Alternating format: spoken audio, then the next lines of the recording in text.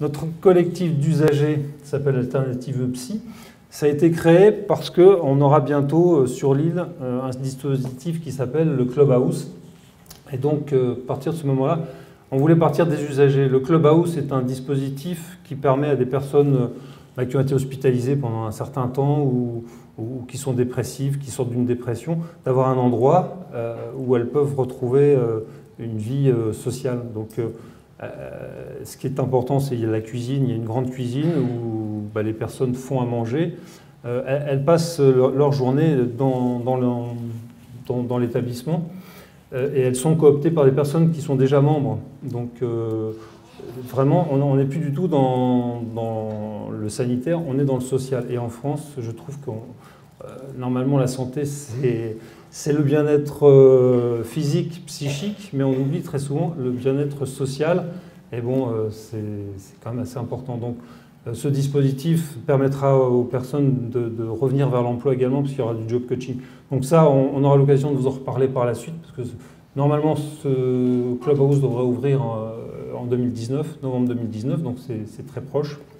Comité de pilotage travaille d'arrache-pied pour qu'on y arrive. On a beaucoup de problèmes de, financement privé. L'ARS a accepté, mais bon, le, privé, c'est un peu plus difficile. Mais bon, on y arrivera. Euh, donc, euh, notre collectif a décidé d'inviter les associations qui désiraient euh, nous aider et être partenaires. Donc Argos 2001 a répondu évidemment, puisque je, m'occupe de l'antenne depuis 2014.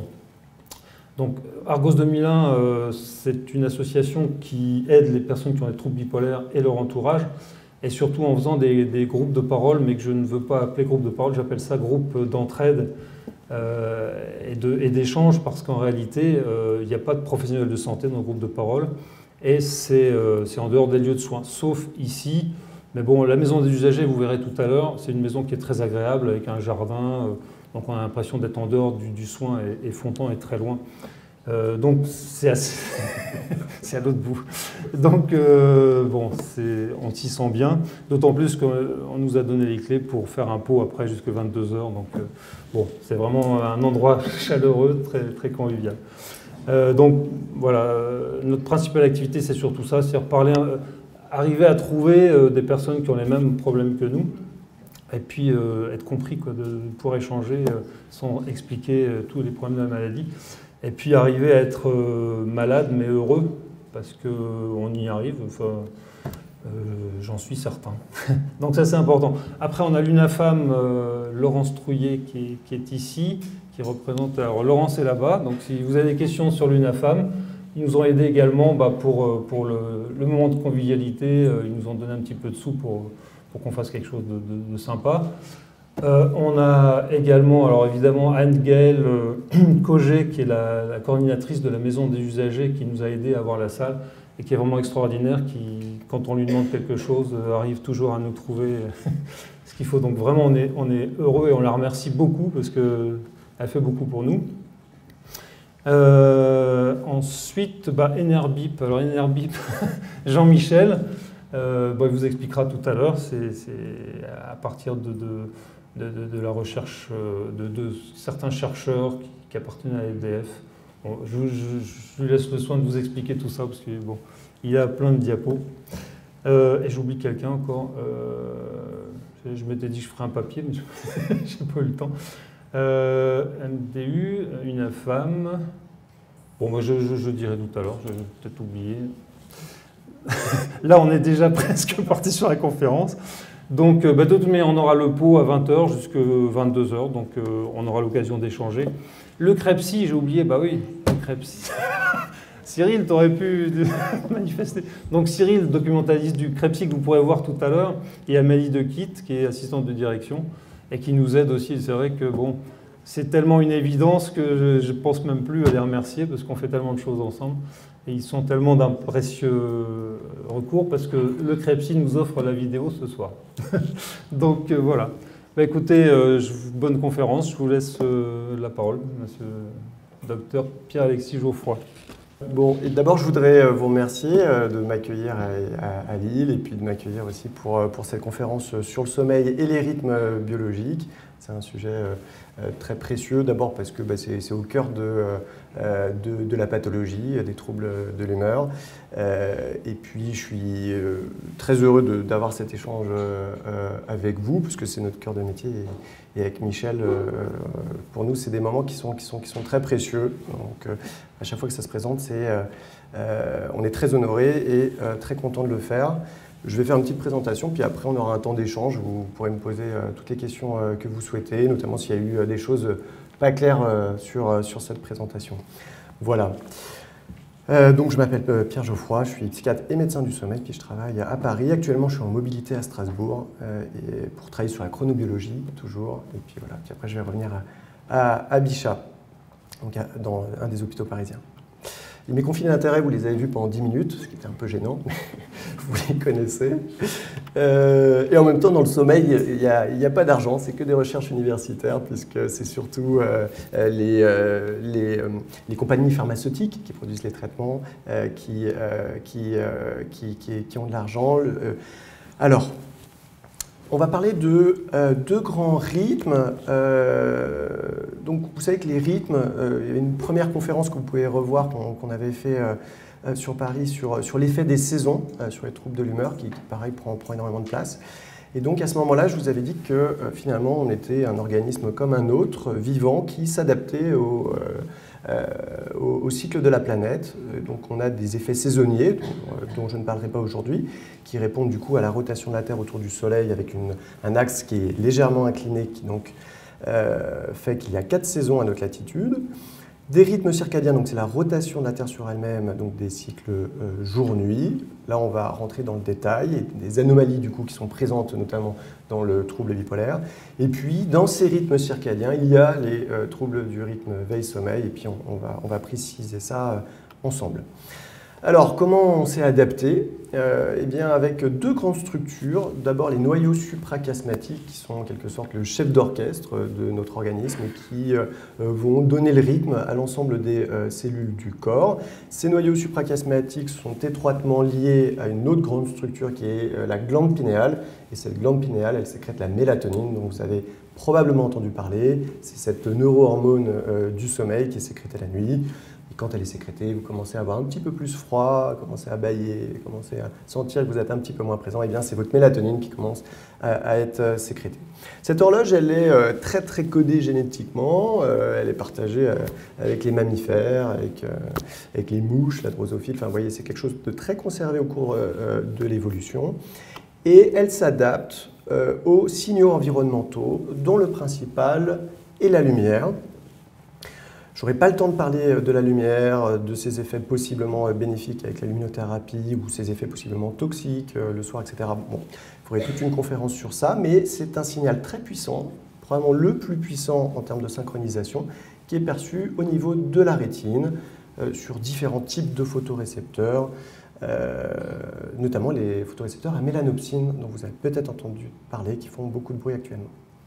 Et puis, il y a tout un tas euh, d'autres signaux qui vont pouvoir synchroniser votre horloge biologique, la température extérieure, vos rythmes alimentaires. Vous avez probablement déjà expérimenté le fait de voyager euh, et de traverser plusieurs fuseaux horaires. Vous vous rendez compte que vous avez faim à des mauvais moments de, la journée et que votre horloge va mettre un petit peu de temps à se resynchroniser. La respiration, l'effort physique, euh, bref. Et tout ça, ça se traduit sur un plan moléculaire par une sorte de, coucou suisse comme ça, qui, tourne sur 24 heures, euh, avec des gènes euh, qui sont maintenant très très bien connus, qui euh, s'expriment et se traduisent en protéines, qui se phosphorylent et puis qui font des cycles comme ça sur 24 heures.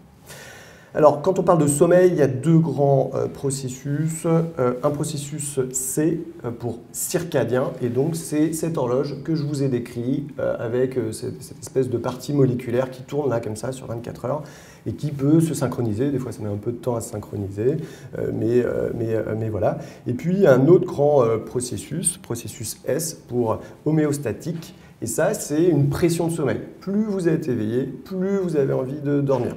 D'accord? C'est une sorte d'accumulation de sommeil. et du coup, je peux venir tout de suite sur un point qui va être important pour vous, qui est que chez les sujets qui euh, souffrent d'insomnie, qui sont en dehors d'un épisode, ce qui est une situation particulière, mais donc on va dire entre les épisodes, Le fait de faire la sieste en journée va effondrer votre pression homéostatique, ce qui fait que le soir, ça sera beaucoup plus difficile d'aller s'endormir. Vous avez peut-être déjà vécu, c'est la sortie du samedi soir, où euh, du coup on se couche très tard, vers 5-6 heures du matin, on se réveille beaucoup plus tard le dimanche, vers 13h, euh, 14h, et le dimanche soir c'est beaucoup plus difficile d'aller se coucher alors qu'on doit aller travailler le lendemain matin. D'accord?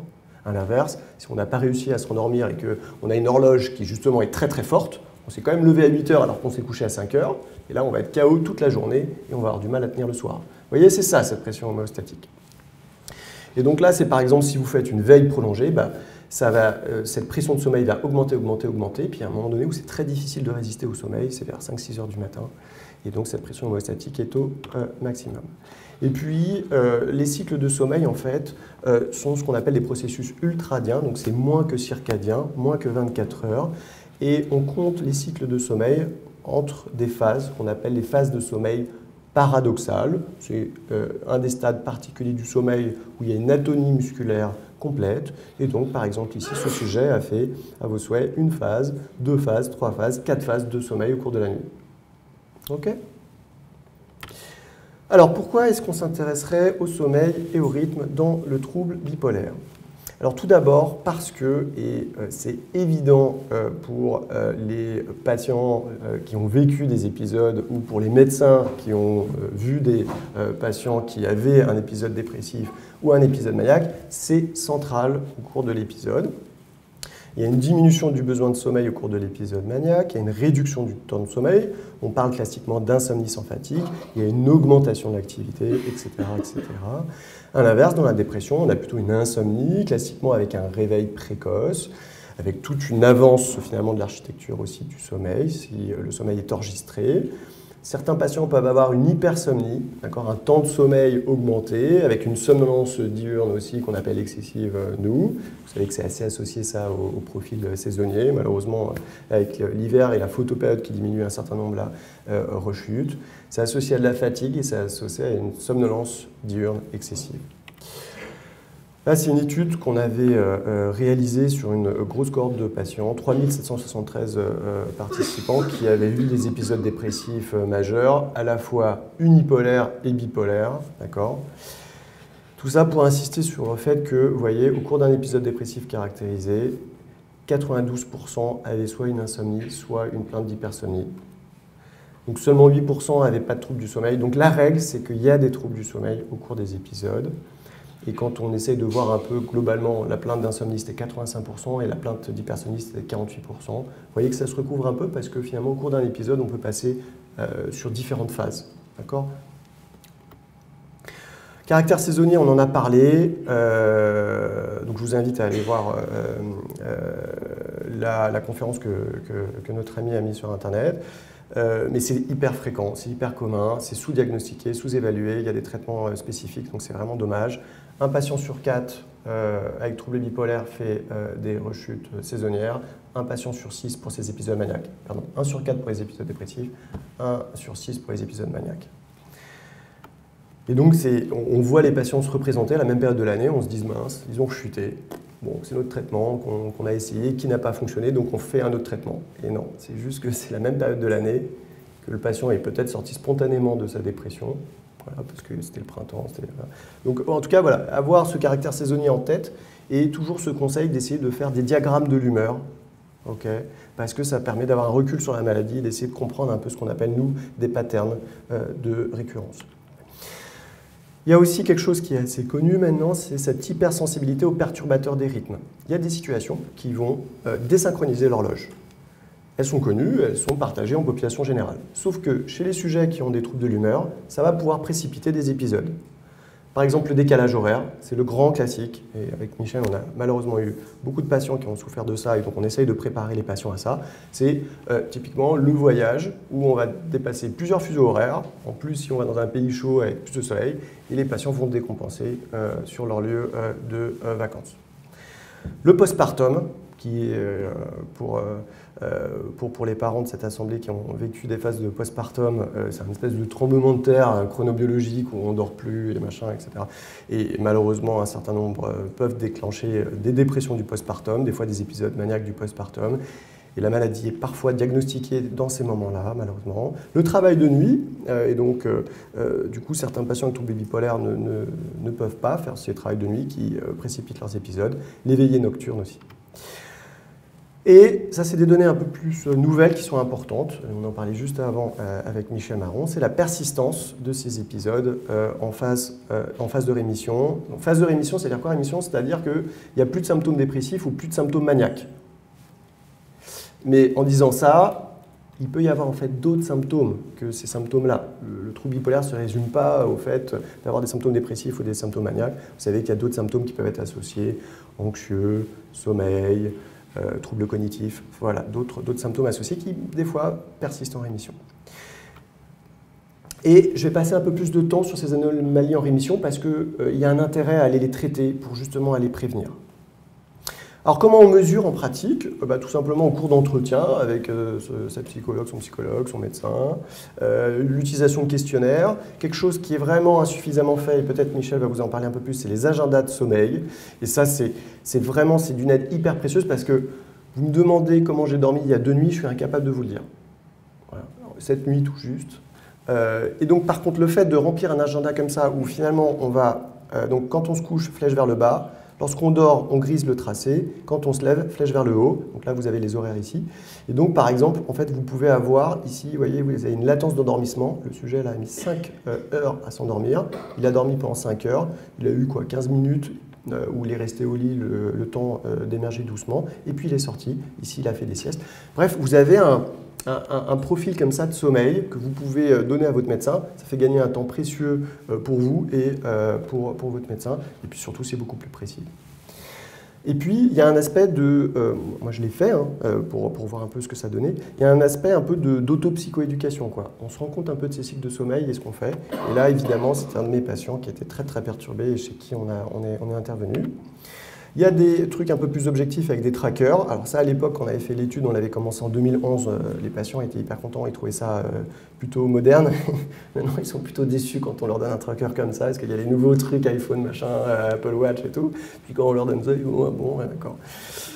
Euh, il y a d'autres trucs qui permettent, euh, tels que la polysomnographie, on appelle ça. Donc ça, c'est le gold standard de la polysomnographie. Ça permet euh, d'avoir accès directement à l'architecture du sommeil, donc au stade de sommeil dont je vous ai parlé. Et puis enfin, il y a des trucs un peu plus moléculaires qui donnent accès aux protéines, aux chromosomes et à vos gènes et, donc aux variants que vous pouvez avoir sur vos gènes. Donc voilà, l'agenda de sommeil, on en a parlé. je fais un peu de pub pour un réseau de sommeil auquel je n'appartiens pas. Euh, donc vous voyez, euh, euh, pas de conflit d'intérêt, qui est le réseau Morphe, qui, qui, a plein de trucs disponibles, d'outils disponibles en libre accès, donc vous pouvez télécharger, imprimer et, faire les choses vous-même. Et, et, moi, c'est celui que j'utilise en pratique clinique. Euh, donc voilà, je vous ai déjà expliqué comment on, remplissait un agenda de sommeil, mais voilà, donc les heures de coucher ici, euh, les heures de lever ici. Ici, vous avez des éveils brefs du coup au cours de la nuit. Là, c'est des éveils un peu prolongés. Et là, c'est, pardon, éveil prolongé, donc c'est là. Éveil bref, c'est les petits R. Et puis là, c'est euh, du coup une sieste. Ok, c'est très clair, il n'y a pas de questions? Donc ça, c'est l'exemple d'un autre patient qui avait, du coup, vous voyez, là j'ai été clair, mais euh, je n'avais pas été clair dans ce que je lui avais expliqué, puisqu'il n'avait pas grisé, il avait juste mis où, quand il se couchait, quand, quand, il se levait. Donc il y avait un certain nombre d'anomalies de sommeil euh, qui étaient moyens avec un retentissement. Et euh, tout ça pour dire quoi? Pour dire quasiment 80-90% des personnes, nous les traitons juste avec un changement des comportements de vie, de sommeil et d'activité. Vraiment, et je n'exagère pas du tout en disant ça. 80 à 90% des patients, on les traite juste sur leurs insomnies, sur trouble du sommeil, juste sur des comportements. On va y revenir. D'accord? Et donc, les, alors, euh, bon, les termes euh, qu'on utilise, vous savez, euh, on parle d'hygiène de sommeil. après, il y en a qui vont me taper dessus en disant non, c'est pas bien, il ne faut pas dire hygiène, c'est un petit peu trop. Donc, il faut parler d'habitude. Il y en a qui vont dire ah, non, habitude, c'est pas bien. il faut parler de comportement. Bon, vous parlez de ce que vous voulez. Ce qui compte, c'est faire des trucs qui marchent bien. Et les conseils pratiques, c'est quoi? C'est finalement d'aller se coucher plutôt à, un horaire fixe, autour de 23 heures. D'utiliser votre lit uniquement pour dormir ou pour les rapports sexuels, mais pour rien d'autre. Donc l'implication, c'est quoi? C'est que si vous êtes éveillé dans votre lit parce que vous avez une insomnie, vous sortez du lit. Vous allez au fauteuil, vous allez faire quelque chose qui va favoriser l'endormissement, écouter un podcast, lire un livre, lire un dictionnaire, ce que vous souhaitez. Et lorsque vous sentez que peut-être le sommeil revient, là, vous allez à nouveau au lit. Pourquoi? Parce qu'il faut reconditionner votre sommeil et le réassocier au lit. Ces, types de, de conditionnement, vous les avez déjà vécus. Un enfant, quand il va au lit, il pleure parce qu'il sait que la journée est finie et qu'il va dormir. Le lit est associé au sommeil pour lui. D'autres dans la salle sont probablement conditionnés euh, dans le train. Dès que le train roule, dès qu'il y a un roulis, euh, ils dorment. Ça peut être pénible d'ailleurs des fois de voyager avec ce genre de personnes. Si, vous, c'est pas le cas, parce que vous passez 4 heures à côté de quelqu'un qui ronfle. Mais euh, ce qu'il faut, c'est aller rechercher ce conditionnement, réassocier votre lit au sommeil. La télévision, euh, attention, surtout que les nouveaux écrans euh, ont des LED et donc sont hyper éveillants. La lumière bleue qui est contenue dans les LED va effondrer votre sécrétion de mélatonine dont on a parlé tout à l'heure. Donc euh, arrêtez la télé pas trop, enfin, relativement tôt. Ne pas rester au lit le matin après le réveil. Quand vous vous réveillez, vous sortez du lit. Il faut qu'il y ait une mise en activité, il faut qu'il y ait un signal d'éveil fort, franc, qui soit donné à votre organisme. Les cafés les autres stimulants, le thé, tout ça, vous arrêtez après 16 heures, c'est la recommandation française. Les Canadiens sont même plus drastiques que nous, ils disent 14 heures. Dîner léger, donc euh, avant on disait trois repas par jour, etc. Donc euh, évitez, euh, ne sautez pas des repas. S'il y en a un que vous devez sauter, c'est celui du soir. En tout cas, faites-le léger. Pratiquez du sport et des activités très éveillantes plutôt le matin.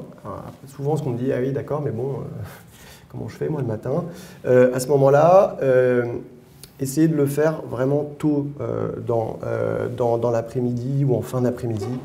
Et si vous voyez que vraiment euh, le fait de faire du sport, ça monte trop votre température centrale et que ça vous rend le sommeil impossible, bah, peut-être essayer de, le garder pour le week-end ou, d'y aller moins, moins fort. Pas de sieste, même si la nuit précédente a été mauvaise. Donc ça, c'est en dehors des épisodes dépressifs. Hein, un sujet qui est en épisode dépressif, qui a une hypersomnie, bah, il fait ce qu'il peut. Il faut d'abord aussi traiter l'épisode dépressif. Faut, euh, soyez pas trop dur avec, euh, avec vous-même aussi. Favoriser de bonnes conditions de sommeil, donc environnement silencieux, noir complet dans la chambre, etc. Et, et enfin, poursuite du, traitement pharmacologique sans modification. On verra dans un deuxième temps. Ce qui compte, c'est d'abord de réhabituer le sommeil. Et puis après, une fois qu'on voilà, on a récupéré un bon sommeil physiologique, voilà, on commence à nettoyer les traitements et, euh, euh, et, à faire sans. Et c'est ça qui, euh, c'est ce genre de mesures comportementales et si ça ne fonctionne pas, plutôt des thérapies cognitivo-comportementales qui vont régler les problèmes de sommeil au long cours. Les hypnotiques sont des traitements qui vont marcher 3 semaines, 4 semaines, et en fait on est dépendant après de ce traitement. Donc si on ne le prend pas, on ne dort pas, bah oui, bah, parce qu'on fait un sevrage en fait. Euh, mais euh, on voit que si on veut récupérer un effet, on est obligé de monter un petit peu les doses. Donc on conserve le traitement. Euh, la plupart des patients, lorsqu'ils viennent nous voir, ils ont déjà vu leur médecin généraliste ou d'autres médecins, donc ils ont déjà des traitements. On fait avec, on fait ces mesures-là, et après on nettoie la pancarte. Il n'y a, a, pas de danger. Hop. Et voyez, par exemple, ce patient-là, du coup, je vais expliquer comment euh, remplir l'agenda, euh, dès la troisième séance, avait une heure de coucher plus régulière vers 23 heures, une latence d'endormissement moyenne de 10 minutes, maximum 15 minutes, un lever immédiat à 7 heures en semaine, et le week-end est décalé à 8h30. Donc ça aussi, le week-end, ne vous décalez pas trop. On pense qu'on récupère, en fait, en se décalant. C'est faux, on se désynchronise. Ce qui fait que le lundi matin, ça va être beaucoup plus dur, euh, et le début de semaine va être souvent très dur. Donc, vraiment grand maximum 1h30 le décalage le week-end, voire 2 heures, en fait, vous allez gagner en sommeil, en qualité de sommeil sur le reste de la semaine. Et donc ce patient, après la troisième séance, on s'est dit au revoir, il était content. Voilà. Les questionnaires, alors, donc ça, on, repart sur, euh, c'est une suivi de cohorte sur 5 ans de euh, patients qui souffrent de troubles bipolaires et ils ont regardé leur sommeil en fonction des différentes phases, phase euh, d'épisode maniaque, phase d'épisode dépressif, phase de rémission. Je ne vais pas rentrer dans le détail, mais vous voyez que c'est le fait de ne pas avoir de troubles du sommeil, c'est hyper rare, 5% en phase maniaque, 4% en phase dépressive.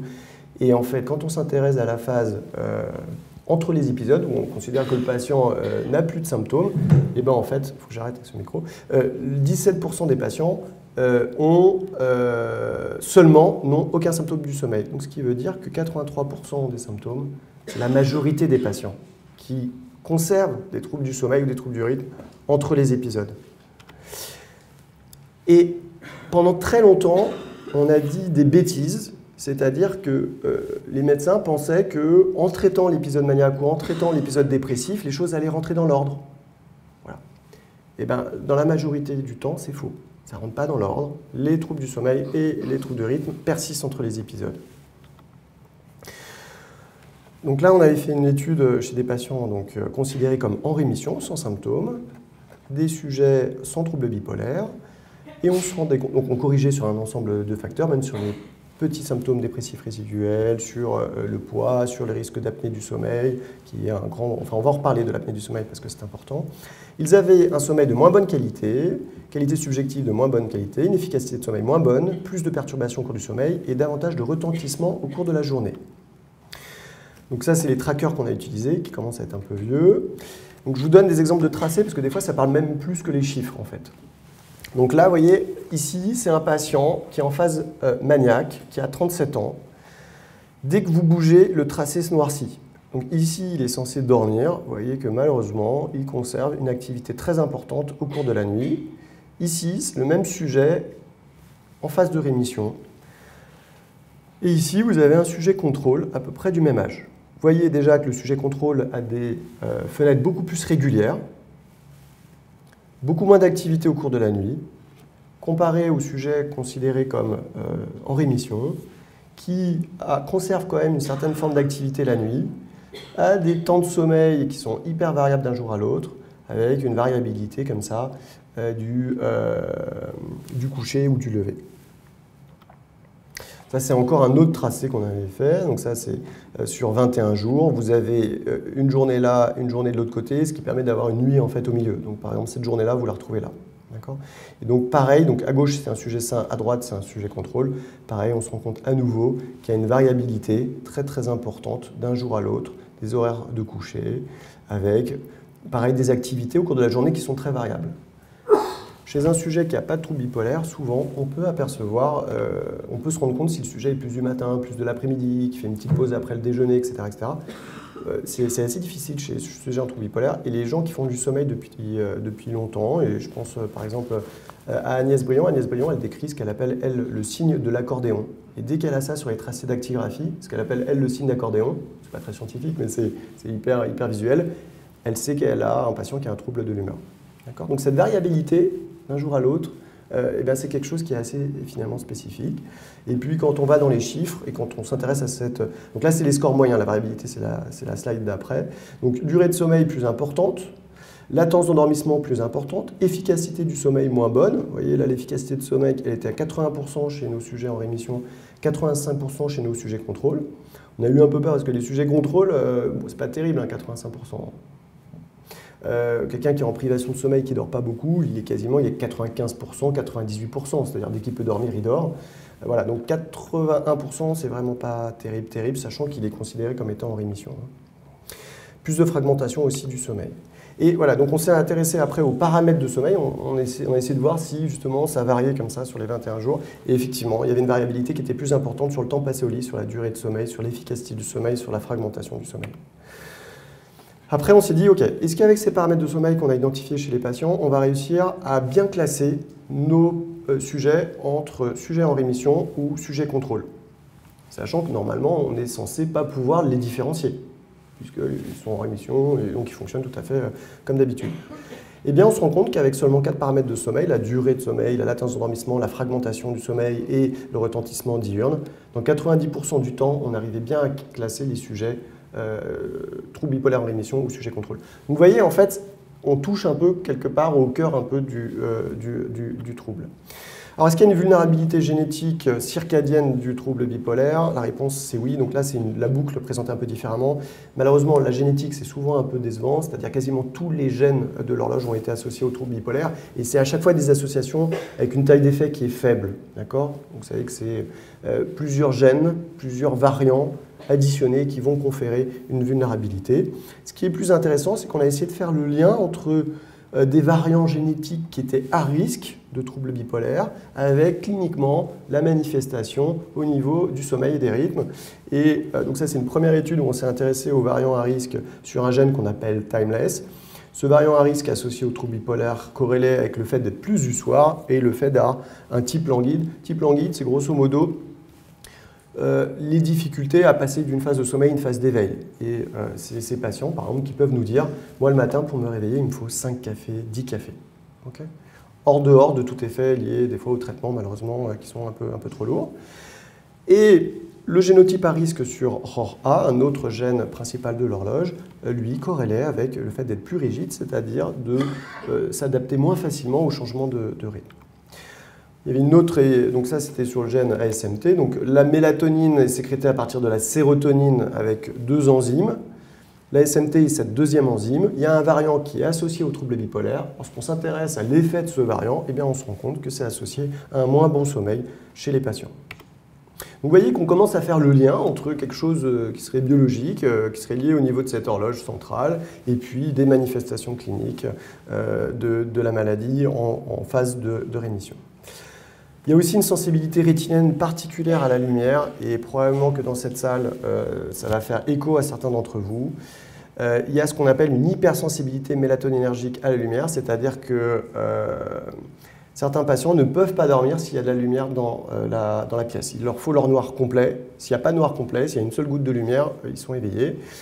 Et en tout cas, même s'ils ne le ressentent pas comme ça, en moyenne, sur une cohorte de patients, euh, on observe qu'il y a un effondrement de la sécrétion de mélatonine qui est plus importante en réponse à la lumière versus des sujets contrôle. Il y a aussi des anomalies de cette sécrétion de la mélatonine à la fois au cours des phases aiguës et au cours des phases de rémission, avec souvent des sécrétions qui sont un peu moins importantes. Donc voilà, euh, pour ces anomalies en phase de rémission, je les ai résumées un peu ici. Il y a des troubles de type insomnie, de type hypersomnie, il y a des altérations des rythmes dont on a parlé. Je ne rentre pas dans le détail puisqu'on a passé quand même pas mal de temps. Et surtout, et c'est finalement peut-être ce qui vous intéresse le plus, bien que quand même, même en phase de rémission, ça impacte euh, la qualité de vie, c'est que malheureusement, ça prédit aussi les récurrences des épisodes. Et ça, pareil, c'est-à-dire, c'est bien de faire des études parce que ça permet d'objectiver, de, mesurer, d'avoir des tailles d'effets, euh, de trouver des traitements. Mais on n'a pas besoin de faire des études pour le savoir. En clinique, les patients nous le disent. Voilà, là, à nouveau, je me sens pas bien, je me sens un petit peu plus irritable, je dors moins bien, je me réveille cinq fois dans la nuit, je sens que ça va revenir. Les patients nous le disent. Donc, euh, euh, après, voilà, c'est bien de, bien de l'avoir en chiffres. Et il y a eu des modèles hein, qui, sont, qui sont développés depuis quelques temps déjà, qui essaient d'intégrer toutes les données que je vous ai un peu présentées. Et donc il y a une vulnérabilité génétique, comme euh, vous le savez. Euh, il y a des choses qui vont pouvoir déclencher un épisode, un événement de stressant, des perturbations des rythmes, on en a parlé, de divers types de perturbations, un arrêt brutal de traitement, ça va déclencher par exemple de l'insomnie, et ça va déclencher un épisode maniaque ou, euh, ou, dépressif. Et en fait, on peut compliquer un petit peu plus maintenant euh, ces, choses-là. Et donc, vous retrouvez, donc là, il y a eu des petits trucs, c'est le passage euh, Mac-PC, mais il y a eu un petit truc, donc là, il y a, vous retrouvez les anomalies des rythmes circadiens, dont je vous ai parlé. Tout ce qui, donc on appelle ça des givers c'est les synchronisateurs externes. Donc dès qu'il y a un changement au niveau de l'environnement, ça va pouvoir ici créer des anomalies de rythme. Là, c'est votre sommeil, c'est la pression de sommeil, c'est tout ça. Et là, c'est tout ce qui est monoamine au niveau du cerveau. Vous savez, c'est la sérotonine, c'est la dopamine, qui sont euh, des monoamines qui sont euh, altérées euh, dans le trouble bipolaire. Il y a plein d'hypothèses sur ces voies monoaminergiques. Enfin, c'est plus des hypothèses, hein, mais par exemple, quand on prend un antidépresseur, c'est un inhibiteur sélectif de recapture de la sérotonine. Donc, c'est une des monoamines impliquées dans les troubles de l'humeur. Il y a d'autres facteurs, hein, tels que les hypothèses immuno-inflammatoires, endocriniennes, etc., qui peuvent participer à déstabiliser tout ça. Il y a les gènes de l'horloge et les altérations moléculaires euh, dont on a passé un petit peu de temps ici. Et puis, il y a ces altérations du traitement de la lumière. Tout ça va pouvoir entraîner en fait des perturbations sur ces trois axes-là et déclencher des épisodes. Mais les épisodes, à leur tour, eux-mêmes, sont marqués par de l'insomnie, sont marqués par des perturbations. Et un certain nombre de patients présente des troubles du sommeil après des épisodes, alors qu'ils n'en avaient jamais eu avant. Et donc, vous pouvez avoir, bref, un espèce de cercle vicieux comme ça qui s'auto-entretient malheureusement sur euh, le sommeil. Alors, comment identifier ces troubles? Euh, Moi, je vous conseille de, télécharger, c'est en libre accès, euh, et c'est aussi quelque chose que j'utilise avec mes patients parce que c'est super bien fait et ça, permet à mes patients de, euh, de, maîtriser leurs troubles, de les comprendre, et euh, de partager ça avec moi pour qu'on puisse identifier euh, quels sont les types d'anomalies du sommeil. Et donc encore une fois, c'est le questionnaire de sommeil qui est disponible en téléchargement libre sur le réseau Morphée. Et donc c'est un auto-questionnaire, donc vous remplissez ça et ça vous permet de répondre à un certain nombre de questions sur votre sommeil. Ici par exemple là c'est l'échelle qu'on appelle Depworth, qui est l'échelle la plus utilisée en médecine, qui va coter votre proportion à vous endormir dans les trucs de, enfin dans les activités pardon, de la vie quotidienne. C'est votre somnolence diurne excessive Bon, il y a tout un tas de choses qui sont, euh, qui sont mesurées et, ça peut être très précieux. Voilà, dans cette dernière partie, euh, je, vais euh, partager avec vous finalement quelle démarche nous on a sur les problèmes de sommeil et ce qu'on va éliminer d'abord comme possibilité, comme trouble euh, et euh, les traitements euh, possibles en regard. Je vais balayer ça rapidement parce qu'il faudrait toute une, toute une autre séance sur comment traiter, d'accord et, chaque trouble est, complexe. Je passerai juste un petit peu plus de temps sur le syndrome d'apnée hypopnée obstructive du sommeil parce que c'est malheureusement sous-diagnostiqué très fréquent et associé à une morbimortalité importante et à une résistance thérapeutique importante. Première question euh, qu'on doit se poser, c'est est-ce qu'il n'y a pas une origine iatrogène? C'est-à-dire, est-ce que ce n'est pas lié au traitement? Des fois, sorti d'un épisode, euh, certains traitements sont plus nécessaires, sont trop sédatifs, donc créer une hypersomnie, ou à l'inverse, peuvent être pourvoyeurs euh, d'effets secondaires. Bon, je, donne n'importe quoi comme exemple, les antidépresseurs avec le syndrome des jambes sans repos. Enfin voilà, des fois nos traitements ont des effets secondaires, donc il faut les surveiller. Et euh, si c'est le cas, euh, changer de traitement, limiter euh, la prise d'effet. Donc, pour ceux qui dorment en journée et qui du coup ont du mal à dormir à la jour, parce que des fois il y a des traitements sédatifs qui sont mis en journée, bah, peut-être lever le pied pour permettre un bon sommeil. Et pareil, le soir, peut-être éviter certains traitements stimulants. On commence par ça. Une fois qu'on s'est assuré qu'on n'avait pas d'effet iatrogène qui était lié à nos traitements eh bien, on passe euh, à euh, l'évaluation de euh, l'insomnie. Donc là, j'ai pris l'exemple de l'insomnie. Hein. On peut dérouler pareil pour l'hypersomnie. Eh bien, on va se demander si ce n'est pas des symptômes qui seraient liés à des symptômes de l'humeur qui sont encore là, une dépression qui n'a pas été tout à fait traitée, des symptômes qui sont hypomaniaques, qui sont peut-être subsyndromiques, mais qui quand même déjà euh, témoignent euh, d'une certaine activité de la maladie, et donc peut-être renforcer l'aspect de thymorégulation.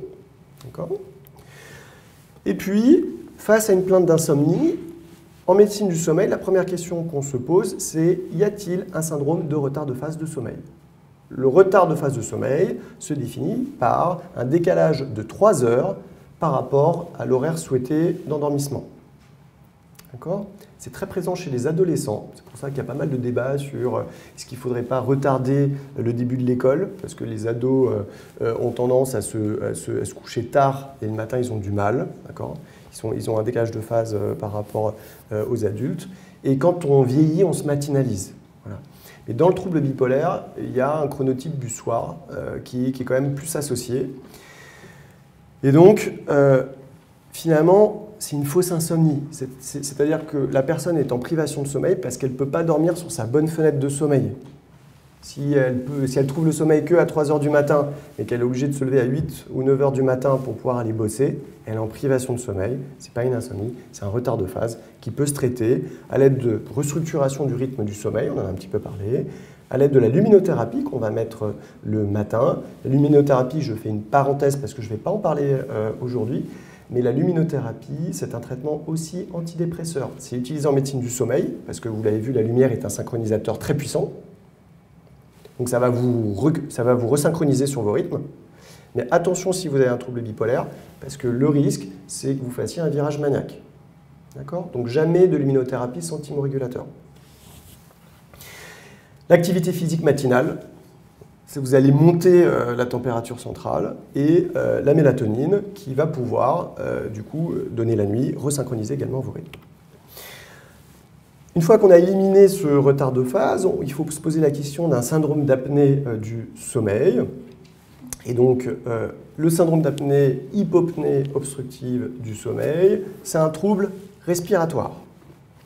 C'est votre pharynx qui se collapsent la nuit, se ferment, voilà, donc vous respirez plus. Les patients peuvent vous dire, par exemple, qu'ils ont l'impression de s'étouffer au cours de la nuit ou, qu'ils ont des reprises de respiration bruyantes, ce genre de choses. C'est souvent intéressant de demander à l'entourage parce que les proches se rendent compte euh, que euh, euh, la personne qui, dort à côté d'eux fait, fait, des pauses, et, ça, peut être d'ailleurs inquiétant. Le ronflement est très très associé aux apnées du sommeil. La nicturie, la nicturie c'est le fait d'aller uriner plusieurs fois au cours de la nuit. Alors, Attention parce que le lithium, des fois, fait uriner aussi la nuit. la prostate qui grossit un petit peu peut faire uriner la nuit. mais, mais s'il n'y a pas ces traitements ou si ça vous semble que ce n'est pas lié euh, ni au lithium ni à ce genre de soucis, eh bien, euh, ça peut être un indicateur euh, de syndrome d'apnée-hypopnée obstructive du sommeil. Et le fait de suer beaucoup la nuit aussi, ça c'est des indicateurs. Un autre truc que je n'ai pas noté ici, c'est le fait d'avoir une grosse langue, une langue épaisse. Ça, c'est des symptômes qui sont présents au cours du sommeil. Il y a des symptômes qui sont présents au cours de l'éveil. L'éveil, c'est la somnolence diurne excessive. C'est le fait de s'endormir dans des conditions où on aurait souhaité pas s'endormir. Certains s'endorment en ce moment même. Peut-être que vous souhaitez vous endormir, donc euh, c'est différent. Mais si vous ne souhaitez pas vous endormir, eh euh, c'est une somnolence. Les céphalées matinales. Alors, les céphalées matinales, c'est avoir mal à la tête. Et classiquement, c'est un mal de tête euh, qu'on définit comme en barre. Et ce qui est très spécifique, c'est quand les sujets vous disent il ne faut pas que je dorme trop, parce que si je dors trop, j'ai un mal de tête impossible, je ne peux rien faire dans la journée. Vous voyez, ils limitent un peu leur sommeil. Pourquoi? Parce qu'en fait, ils font plein d'apnée. Et plus ils vont faire d'apnée, plus ils vont avoir mal de tête qui va grossir, grossir, grossir. Et donc, ils réduisent un peu leur sommeil. Donc, les gens qui vont une espèce de barre comme ça le matin, et ou euh, qui euh, euh, essayent de ne pas trop dormir parce que sinon le mal de tête est vraiment trop important, voilà, baisse de la libido et le syndrome d'apnée-hypopnée est la première cause d'hypertension. D'accord? Et en plus d'hypertension résistante qui ne répond pas au traitement. Bah oui, pourquoi? Parce que c'est un problème respiratoire. Donc on va mettre des antihypertenseurs, mais ça va moyen marcher. Et puis il y a des caractéristiques morphométriques, c'est surtout le fait d'avoir un gros cou, d'être obèse, ou euh, d'avoir ce qu'on appelle un rétrognatisme, c'est donc le menton qui est un peu reculé. C'est un diagnostic qui est clinique, mais on va le confirmer avec la polysomnographie. on va enregistrer les patients et c'est des choses qui peuvent se faire euh, à, la maison. Il y a par exemple Isabelle Poirot, le docteur Isabelle Poirot euh, à Lille, qui est, une experte nationale et internationale sur le sommeil, qui, euh, propose d'enregistrer les patients et, donc à voir avec votre médecin. Pourquoi j'en parle? Parce que là, par exemple, c'est une cohorte américaine, 54% de patients à haut risque, troubles bipolaires, 1 sur 2. D'accord Donc c'est une cohorte américaine, donc ils sont euh, plus gros qu'en France. D'accord Il y a un BMI à 36, donc euh, il y a moins d'obésité en France. Vous voyez que déjà sur cette étude, c'est associé à davantage de symptômes dépressifs, davantage de symptômes résiduels maniaques et évidemment un sommeil qui est perturbé. Et nous, on a fait une étude aussi en France. Et donc, alors, on avait moins de sujets en France qui étaient euh, atteints. donc, on a étudié 144 sujets avec troubles bipolaires en rémission. Il y avait 22%, donc vous voyez quand même, on passe à un quart, qui était à haut risque de syndrome d'apnée. Mais quand même, c'est 1 sur 4. Hein. C'était associé, ce syndrome d'apnée, à le fait d'être plus vieux, d'avoir un poids plus important, d'avoir un tour de cou plus important, d'avoir davantage de symptômes dépressifs résiduels. Il y avait plus de somnolence en journée, il y a une moins bonne qualité de sommeil, il y avait plus d'insomnie, il y avait un caractère languide que je vous ai décrit tout à l'heure plus important, et il y avait une fragmentation du sommeil. Et après, dans euh, une deuxième étape, qui, est un peu comme l'étape que je vous avais montrée tout à l'heure. On a essayé de voir finalement quel euh, facteur arrivait le mieux à classer euh, les sujets euh, au risque de syndrome d'apnée ou, pas, ou pas d'apnée. Et ce qui est vraiment remarquable dans le trouble bipolaire, c'est que deux facteurs, le fait d'avoir un IMC, un indice de masse corporelle, en gros supérieur à 30, et le fait d'avoir des symptômes résiduels dépressifs, la MADRS c'est une échelle de dépression, donc en gros, si vous avez plus de un symptôme dépressif, dans 83% du temps, euh, vous classez bien les sujets avec apnée, pas d'apnée. Donc en gros, un sujet qui, euh, malgré tout, conserve des symptômes résiduels de dépression ou a un surpoids, je pense qu'il faut enregistrer. Il faut s'assurer qu'il n'y a pas d'apnée. D'accord? C'est vraiment trop bête, surtout qu'il y a des traitements maintenant. Euh, c'est des petits appareils maintenant qui ont été assez miniaturisés, qui permettent euh, de, euh, d'envoyer une pression pendant que vous dormez et qui permettent d'ouvrir vos voies aériennes pour pas qu'elles se referment. Et ça vous change la vie, ça vraiment ça transforme la vie des patients qui, qui refusent après de dormir sans parce que, parce que c'est beaucoup plus rafraîchissant et voilà. Il y a une la première semaine, en général, est assez difficile parce que c'est pas très agréable de recevoir euh, de l'air, donc il faut s'habituer au truc. Mais une fois qu'on est habitué, ça se passe franchement très bien et ça change euh, la qualité de vie. L'autre question qu'on se pose après, c'est y a-t-il un syndrome des jambes sans repos? On va revenir sur ce que c'est que le syndrome des jambes sans repos. Euh, le traitement, c'est d'aller l'adapter, parce que voilà, des fois nos antidépresseurs, des fois les antipsychotiques peuvent donner des syndromes des jambes sans repos, et si c'est le cas, eh ben, il, faut, il faut changer. La première cause euh, de syndrome des jambes sans repos, c'est la carence en fer. C'est pour ça qu'il n'y en a plus chez les femmes. Donc attention à, faire doser le fer quand il y a un syndrome des jambes sans repos, parce qu'il suffit de le corriger puis vous êtes, plus, vous êtes tranquille. Et puis il y a des traitements euh, qui sont utilisés, euh, notamment les agonistes dopaminergiques, pour traiter ce syndrome des jambes sans repos. Alors, syndrome des jambes sans repos, ça se passe la journée, c'est le soir. Vous êtes éveillé, et euh, au moment euh, euh, du, soir, vous avez envie de bouger les jambes. Cette envie, elle est un peu irrépressible et elle est améliorée par le mouvement. vous bougez, ça va mieux. C'est maximum au repos, c'est maximum le soir et ça s'améliore au mouvement. Si ce n'est pas amélioré par le mouvement, c'est d'autres problèmes. D'accord? Des artériopathies, que ce soit diabétique, que ce soit vasculaire, c'est d'autres problèmes. Il faut différencier ça de ce qu'on appelle le MPS, le mouvement, les mouvements périodiques du sommeil. C'est des gens qui bougent au cours de la nuit qui peut avoir des flexions des pieds, des fois du genou, des fois de la hanche. Et voilà. Et c'est des mouvements qui sont périodiques. Et ça, pareil, c'est au cours d'un enregistrement du sommeil avec de la vidéo où on se rend compte que les gens bougent la nuit. Vous voyez, c'est deux choses un peu différentes.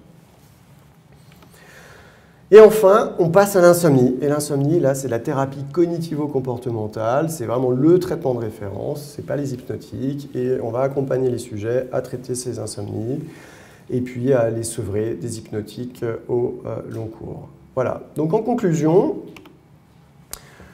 il existe des anomalies des rythmes et du sommeil, elles sont très fréquentes chez les patients souffrant euh, de euh, troubles psychiatriques. C'est associé aux décompensations thymiques. Ça impacte le fonctionnement général des patients. Et il faut le souligner, ça, aussi, ça entraîne des complications non psychiatriques, notamment des maladies cardiovasculaires, euh, donc c'est aussi une raison supplémentaire pour les traiter. Il faut en faire le diagnostic, d'accord euh, Vous avez vu que euh, c'est pas si compliqué que ça. Et, et, surtout, il y a des traitements qui existent, je vais y revenir, mais ça améliore la qualité de vie et ça prévient les épisodes et ça c'est vraiment majeur. Et puis voilà, je le disais, c'est d'autant plus dommage de ne pas les diagnostiquer alors on le comprend, hein, des fois quand on est enfin tranquille, on est enfin sorti de son épisode dépressif ou maniaque, on n'a pas forcément envie d'être enquiquiné encore euh, euh, avec des soins. Mais euh, sachez qu'il y a de nombreux traitements qui existent, hein, qui, peuvent aider. donc on a parlé des règles d'hygiène de sommeil qui sont très très très très importantes et on commence par ça. La thérapie cognitivo-comportementale, dans certains cas et pendant une durée limitée de temps, de la pharmacologie et la luminothérapie, surtout s'il y a une caractéristique saisonnière, mais encore une fois toujours sous couvert d'un euh, thymorégulateur. Voilà, je remercie les gens qui ont travaillé avec moi et vous dire deux mots puisqu'on m'a demandé de vous le euh, dire. Donc vous, le savez ou vous ne le savez pas. Bon, en tout cas, voilà, j'ai écrit un livre sur les troubles bipolaires savoir pour guérir où je réponds aux grandes questions euh, de la maladie sur le trouble bipolaire. voilà, et en fait, il y a une deuxième édition à venir, je crois qu'elle va être sortie en avril et ça sera avec euh, Ellipse, euh, il y a un site, La Réponse du Psy, qui est très bien fait. Je ne sais pas si vous le connaissez, mais il y a plein de sources gratuites en ligne où vous pouvez, euh, vous avez des infos sur la maladie, sur tout ça. Ça s'appelle La Réponse du Psy. Et la philosophie de cette collection, qui est très maline, euh, c'était en gros, il y, a écrit plein, il, y a, plein de choses sur Internet qui sont fausses, il y a plein de conneries. Et euh, du coup, les gens qui ont construit ces collections, ils se sont dit, bon, il y en a marre. Et du coup, on va faire une collection où euh, c'est directement euh, des médecins qui vont essayer de donner des informations simples en répondant à des grandes questions. Et donc, vraiment, le site est... Enfin, moi, je, participe avec ce livre-là, mais je ne suis pas... je fais pas partie des gens qui organisent ça, donc je, je le dis encore une fois sans conflit d'intérêt. Leur site est super bien fait.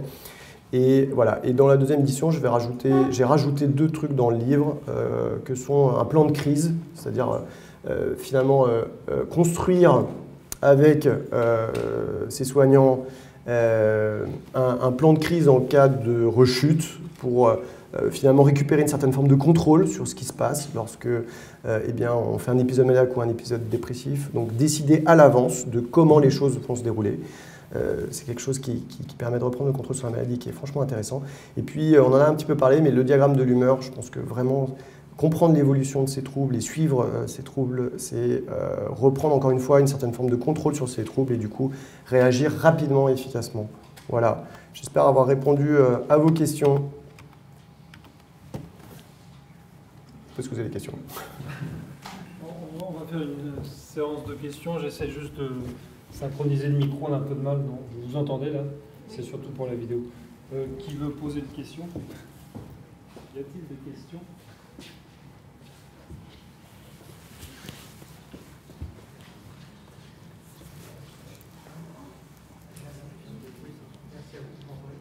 Oui, je vous entends pas très bien, j'avoue, mais. Ouais.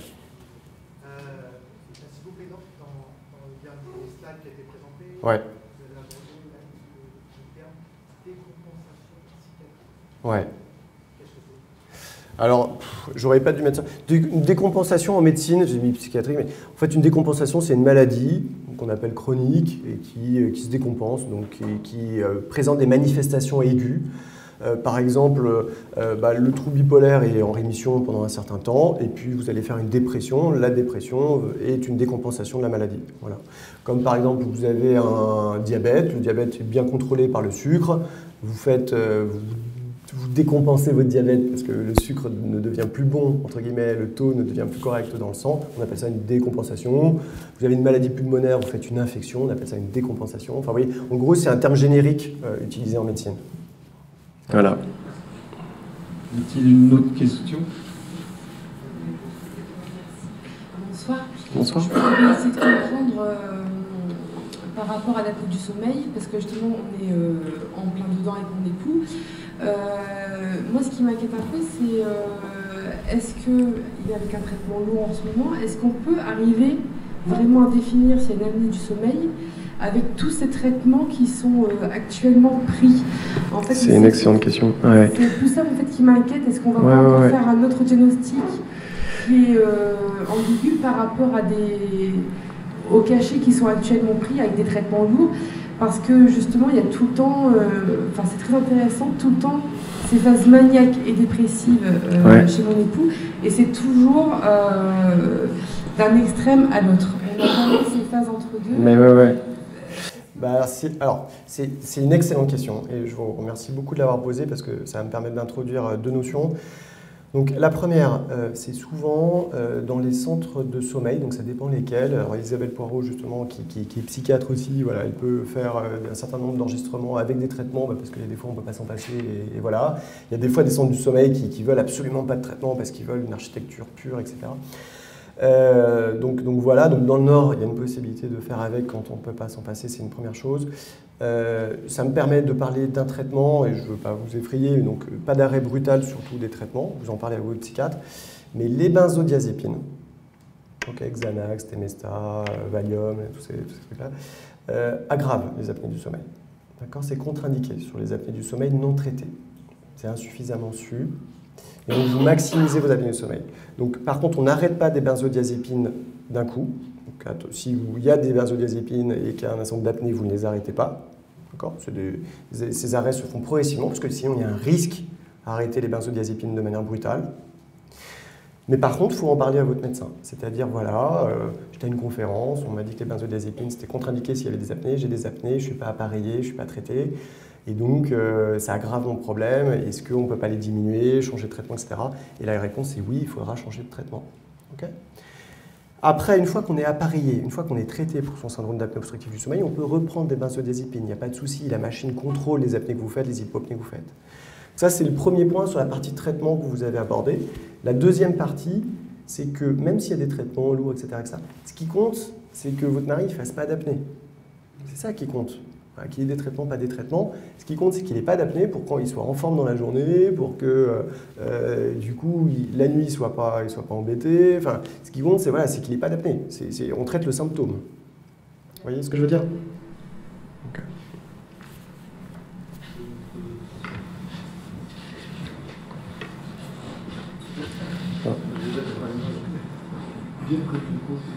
Oui, oui. Donc, euh, vous avez parlé de, de troubles de sommeil. Il y a l'apnée sévère du sommeil, l'apnée sévère du sommeil, et il y a aussi la narcolepsie. Mm-hmm. je prends euh, mon cas, ça fait au moins 10 ans, je suis appareillé, mais non, ben, ça va passer, ça va passer. Après, toujours, le jour, là, je, je peux pas remarquer que je me suis endormi. Mm. Et dès que je m'assieds, même, je suis même debout, je marche, je dors. Hmm. Est-ce que ça se traite? Alors oui, euh, il y a des traitements. Euh, alors d'abord, il euh, faudrait. Je ne peux pas faire une consultation évidemment, mais il faudrait vous. Il faudrait. vous avez vu le docteur Poirot? Ou un de ses collègues? Bon, en tout cas, non, mais ça se traite. D'abord, il faut voir un est-ce que euh, votre index d'apnée-hypopnée est vraiment à zéro? Est-ce que la machine est efficace? Est-ce qu'elle fait bien son taf? Ou est-ce que malgré tout, il reste euh, un certain nombre d'apnées-hypopnées euh, chez, vous? Voilà. Si c'est le cas, il bah, faut renforcer la machine. Si ce n'est pas le cas, ça veut dire qu'il y a une somnolence qui est liée à d'autres causes. Il va falloir identifier ces causes. Est-ce que c'est les traitements? Est-ce que c'est d'autres troubles? Est-ce qu'il va falloir mettre des traitements éveillants, stimulant, euh, stimulant la vigilance? Vous voyez, tout ça, c'est des questions qu'on va pouvoir se poser un peu après pour essayer d'identifier. Mais voilà, mais ça dépend de la cause que vous avez qui euh, sont liées à ces, persistances de somnolence. Et oui, la somnolence, je vous comprends, monsieur, c'est très handicapant et euh, il y a des solutions pour ça. Oui. Vous avez dit de ne pas regarder l'ordinateur avant de se coucher. Combien d'heures avant Est-ce que c'est comme pour le sport Ouais, alors ça dépend de chacun. Vous pouvez, euh, ceux qui sont très sensibles, ils le savent un petit peu. Ce que vous pouvez faire, si, vraiment vous êtes obligé, vous êtes très ordinateur, parce que c'est votre boulot, machin, hein, euh, vous pouvez mettre des filtres à lumière bleue. Vous savez, c'est très utilisé maintenant. Il y a pas mal de smartphones maintenant qui ont euh, de même le, le, filtre à lumière bleue. et vraiment, ça change le sommeil de, certaines personnes. Donc, moi, je vous conseille vraiment d'utiliser euh, ce filtre à lumière bleue. Je fais une autre parenthèse parce que euh, de plus en plus, bon, ça va peut-être pas plaire, mais euh, de plus en plus, vous savez, on vend des lunettes qui sont d'emblée avec un filtre à lumière bleue. Moi, je me demande si c'est pas une bêtise cette histoire-là, parce que Michel est un peu d'accord, parce que en fait, vous l'avez vu, on a aussi besoin de la lumière bleue le matin se réveiller, pour, euh, pour avoir de l'énergie, pour, enfin, c'est fait partie de notre environnement. Donc se couper d'une lumière éveillante au cours de la journée, moi je pense que c'est pas malin. Alors c'est un traitement du verre supplémentaire, donc euh, voilà. Euh, mais, mais n'empêche que maintenant vous savez, il y a la deuxième paire de lunettes à 1 euro. Vous pouvez avoir une paire avec le filtre et la, la paire sans le filtre. Et la, le paire avec le filtre, vous l'utilisez le soir. Quoi. Voilà. Pour les écrans. Pour les écrans.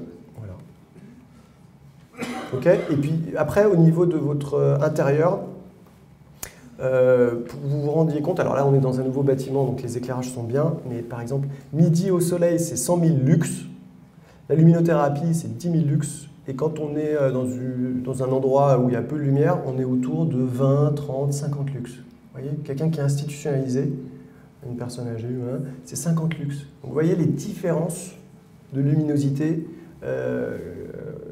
donc vous pouvez jouer aussi sur l'éclairage chez vous, c'est-à-dire le soir, il va falloir privilégier euh, plutôt les vieilles ampoules, vous savez, euh, un éclairage un petit peu chaud et, voilà, et, pas, trop, et pas trop lumineux. Ça vous prépare au sommeil. J'ai répondu à votre question Oui, j'avais une question. Excusez-moi, je suis arrivé, euh, je n'ai pas pu arriver avant, je ne sais pas si vous en avez parlé. Tout à fait OK pour les benzodiazépines. Est-ce que vous faites une différence ou pas avec le zopiclone? Pour le sommeil Est-ce que vous mettez dans la même classe ou est-ce que c'est plus utilisable même si euh, préfère s'en passer Voilà, c'est ça. C'est plus utilisable mais on préfère s'en passer. C'est exactement ça. Ça ne va pas aggraver les apnées du sommeil euh, ou, ce, genre de choses. Euh, au niveau de l'architecture du sommeil, ce n'est pas, pas terrible, mais ça ne la perturbe pas tant que ça par rapport à d'autres molécules, mais ça la perturbe quand même. Donc on préfère s'en passer. Et surtout, en fait, après trois semaines, ce qu'on observe dans les études, ça, ça joue au début sur la latence d'endormissement ou sur le temps de sommeil. Et puis après, hop, on a un épuisement de l'effet et, et on revient au départ. Donc c'est bien pour tout ce qui est transitoire, voilà, une insomnie transitoire, euh, un épisode dépressif en phase aiguë. Il y a un moment donné, il faut quand même dormir, donc, euh, donc voilà, ça aide aussi.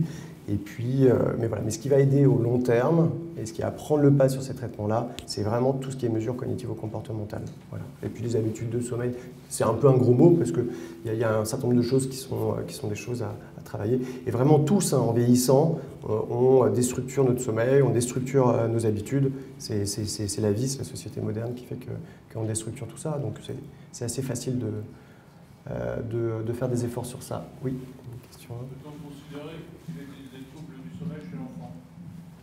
Oui, il y a des troubles du sommeil chez l'enfant. Ouais, ouais. Ça dépend lesquels. Il y a vraiment plein de troubles du sommeil très différents. Euh, il y a des études, euh, toujours dans ce genre de conférence, on ne veut pas non plus trop effrayer, mais euh, dans les études de, de cohortes prospectives, où on a suivi par exemple chez les populations à niche, où on, essaie de, de, les suivre comme ça pour voir un peu, eh bien on se rend compte que quand même les troubles du sommeil au cours de l'enfance prédisposent à des troubles psychiatriques à l'âge adulte, notamment les troubles de l'humeur. Donc, c'est pas si anodin que ça. Vous voyez ce que je veux dire? Après, il y a voilà, les terreurs nocturnes, c'est des choses banales qui souvent rentrent dans l'ordre. Donc ça dépend de quoi on parle, mais les insomnies sévères de l'enfant, c'est quand même des, choses qu'il faut traiter et, qui en plus peuvent prédisposer voilà, à des troubles adultes. Donc c'est important quand même d'en avoir pour être Ok. Merci déjà. Et euh, c'était juste pour revenir, vous aviez parlé des mauvaises habitudes de sommeil et vous parliez de ne pas rester au lit plus de 8 heures par nuit. Euh, pour moi, par exemple, ça me paraît très peu, 8 heures par nuit de, de sommeil.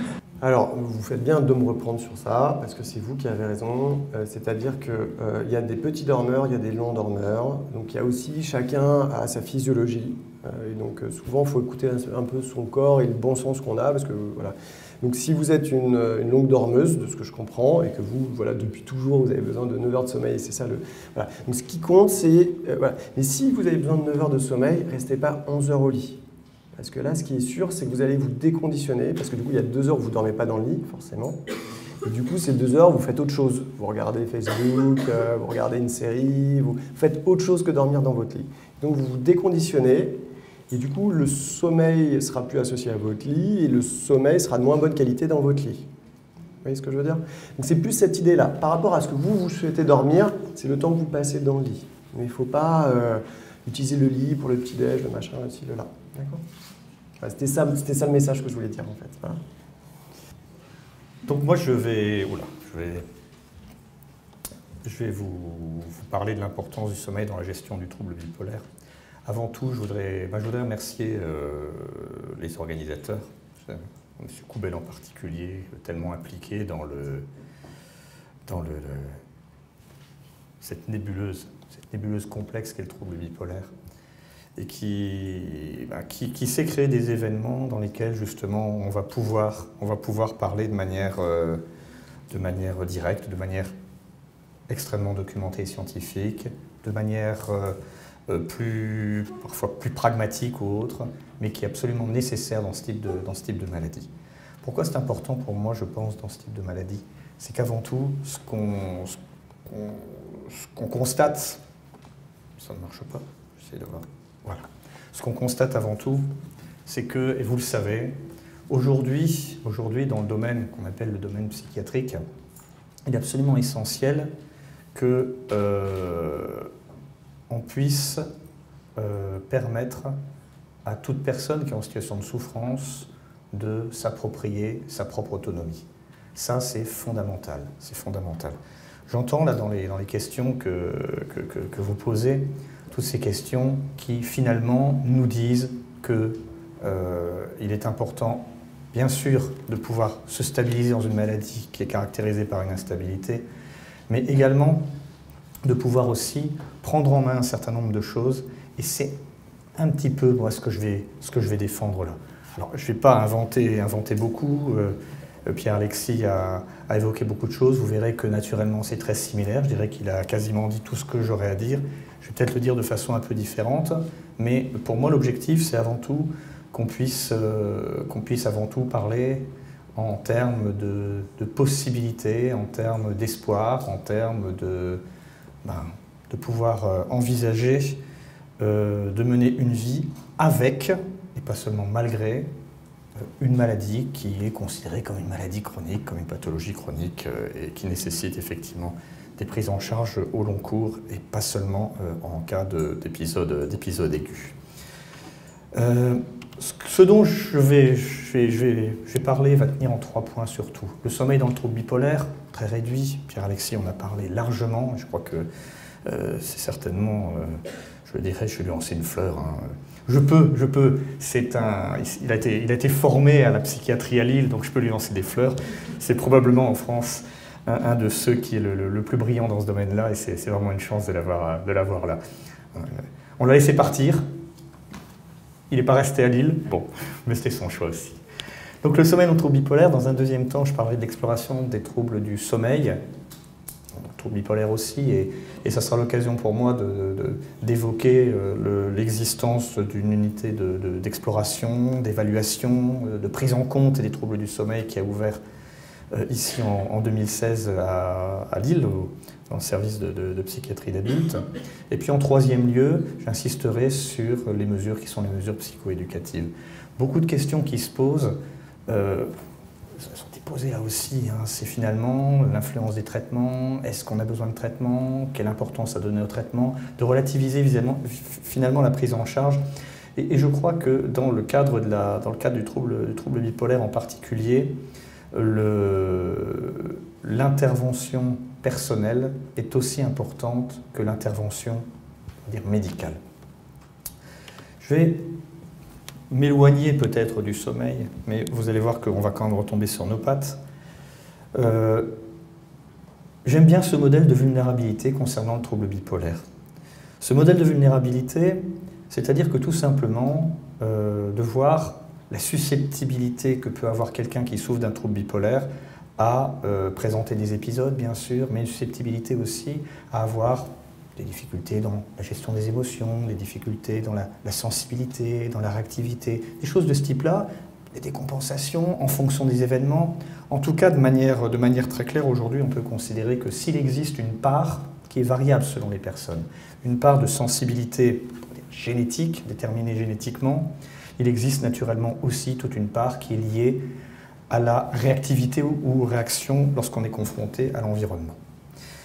Alors, si je veux transporter une caisse d'œufs, je prends des œufs, j'ai plein d'œufs dedans, euh, entre deux villes, euh, dans ma voiture, euh, il y a plusieurs choses qui vont être importantes. La première chose, d'abord, c'est de choisir un itinéraire qui va être un itinéraire suffisamment plat. Suffisamment plat, il vaut mieux éviter les bosses si on ne veut rien casser. La deuxième chose, c'est de pouvoir savoir conduire correctement. Parce que même si j'ai choisi un itinéraire correct, eh bien, je peux très bien me trouver face à un trou, me trouver face à un virage un peu, un peu délicat.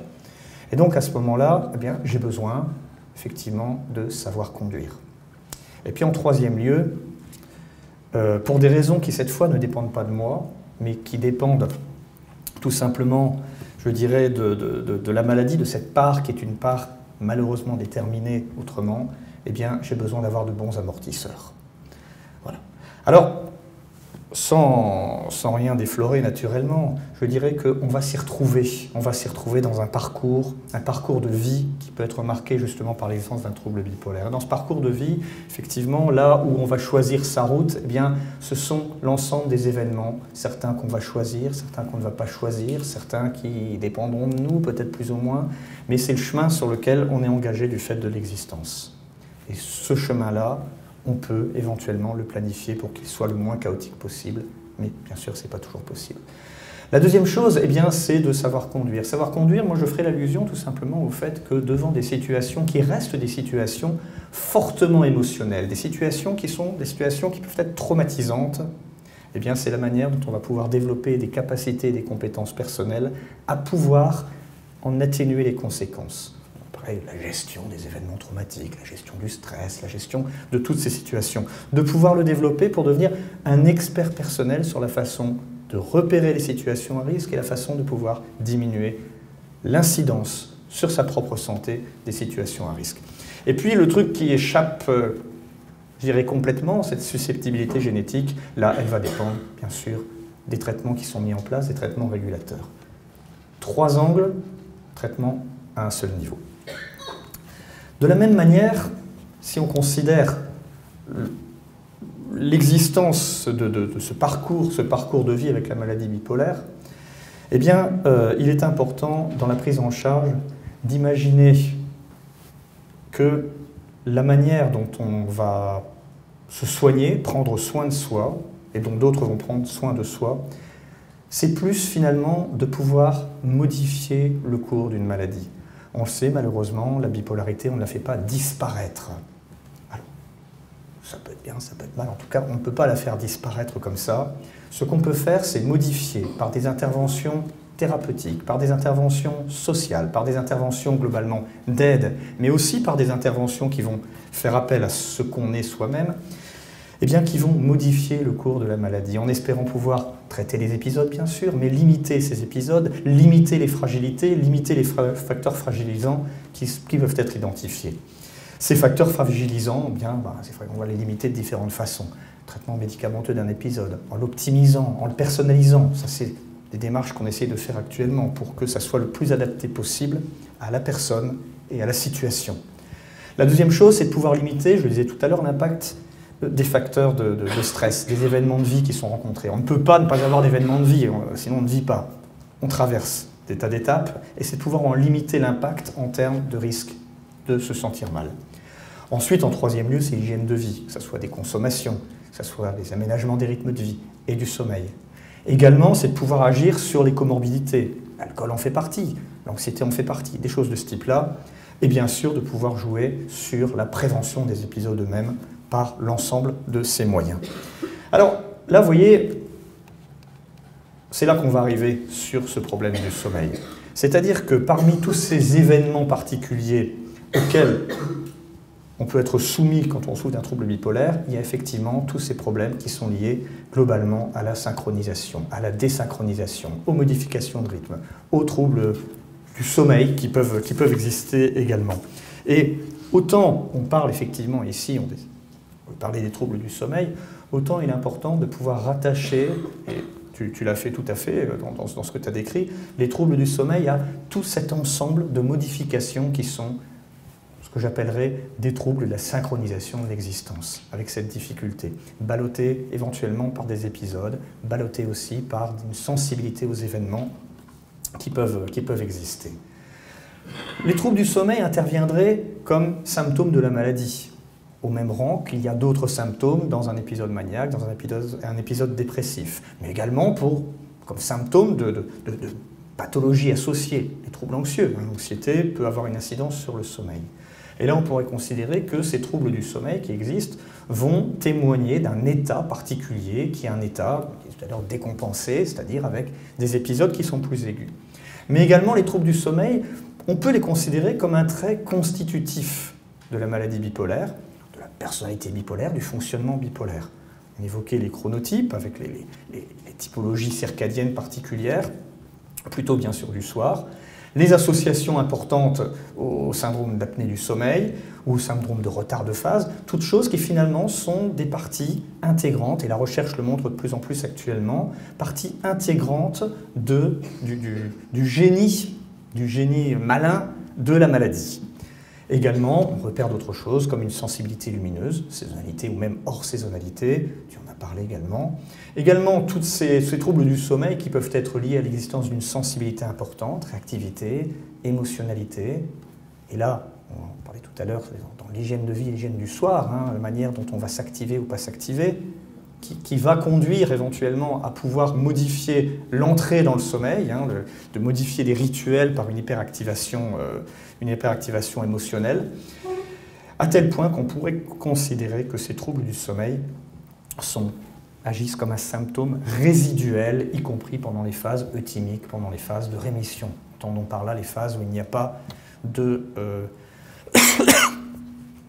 d'épisodes maniaques ou d'épisodes dépressifs. Je dirais un peu au même titre que des symptômes cognitifs, avec parfois des difficultés de concentration, des difficultés de troubles de la mémoire qui peuvent subsister même lorsqu'il n'y a pas d'épisode maniaque ou d'épisode dépressif. Donc à ce même, titre. Et quand on regarde, bien globalement, Pierre-Alexis nous l'a dit, 8 patients sur 10 vont présenter à tout moment de la maladie, donc y compris à la rémission, euh, des troubles du sommeil. De la même manière, de la même manière, ces troubles du sommeil ont une importance dans la prise en charge, dans la gestion, je dirais plus dans la prise en compte, dans la prise en compte de la maladie et dans la prise en compte de ce qu'on veut pouvoir améliorer. Pourquoi? Parce que les troubles du sommeil eux-mêmes sont issus de la maladie, en fonction de l'état, en fonction de cet aspect résiduel, mais également vont avoir une incidence sur la, maladie. En termes, mauvaise, un mauvais sommeil une perturbation du sommeil, qui pourrait être d'une cause extérieure, va jouer comme un facteur qui peut être un facteur déséquilibrant, déséquilibrant de la journée suivante, un facteur auquel il va falloir s'adapter, donc trouble du sommeil qui va agir sur la maladie. La maladie elle-même contient des troubles du sommeil. De la même manière, les modifications de rythme, on évoquait le décalage horaire, on évoquait des choses comme ça, les modifications de rythme vont avoir une incidence sur la maladie, sur le déclenchement d'un épisode, sur une décompensation.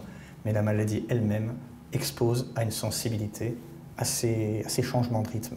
Donc on est dans un système où finalement la maladie appelle à des difficultés de rythme et où les difficultés de rythme appellent à la maladie.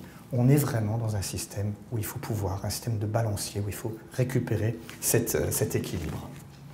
Donc il est important de pouvoir prendre en compte le sommeil, même sans trouble du sommeil, le sommeil comme un risque de souffrance, mais également comme un élément contributif à l'équilibre fondamental. Un mauvais sommeil induit une souffrance, participe à la maladie ou symptômes, mais à côté, on peut aussi envisager que le sommeil agisse comme un élément contributif. Et donc, comme souffrance, en particulier dans les épisodes aigus, eh bien, on va prendre soin de ce sommeil en traitant l'épisode aigu et en tenant compte de ces difficultés de sommeil, mais également, hors période aiguë, on va essayer de ménager au maximum la qualité du sommeil et des rythmes à titre préventif. Autant on est dans un cercle vicieux, autant on pourrait imaginer installer un cercle vertueux qui permettrait à ce moment-là, en aménageant et en ménageant un sommeil de meilleure qualité possible, de diminuer un facteur qui est un facteur de risque d'épisode aigu et de risque d'entretien de la maladie et des, et des cycles qui, peuvent, qui peuvent continuer comme ça. Dans un deuxième temps, je voudrais vous parler de l'unité de sommeil en psychiatrie d'adulte qu'on a, a fait ici. Ça me semble important. Le docteur Isabelle Poirot, qui malheureusement n'a pas pu être là, ce soir, on est, l'instigatrice, hein, psychiatre, médecin du, médecin du sommeil. Euh, elle a pris l'initiative dans le cadre de notre service de psychiatrie d'adulte, de développer une unité de sommeil en psychiatrie, avec des éléments qui sont des éléments, je dirais, originaux, et pour la région, et peut-être aussi pour d'autres régions. L'idée qui préside à ça, et cette unité a vu le jour en 2016, eh c'est de former une équipe, qu'on espère pouvoir devenir beaucoup plus pléthorique, une équipe qui va pouvoir répondre dans le cadre des troubles psychiques à ce qui existe déjà, que ce soit déjà au CHU de Lille dans le cadre du service de neurophysiologie clinique, où il y a des explorations du sommeil qui se font, déjà des explorations qui se font, que ce soit dans le cadre du service de pneumologie, où il y a également des explorations qui sont, qui sont prescrites, pour des raisons qui sont des raisons plus en pneumologie respiratoire, en neurophysiologie clinique, c'est pour des raisons respiratoires, mais ça peut être aussi des explorations qui sont en lien avec d'autres formes de troubles du sommeil dont, dont Pierre-Alexis nous a parlé.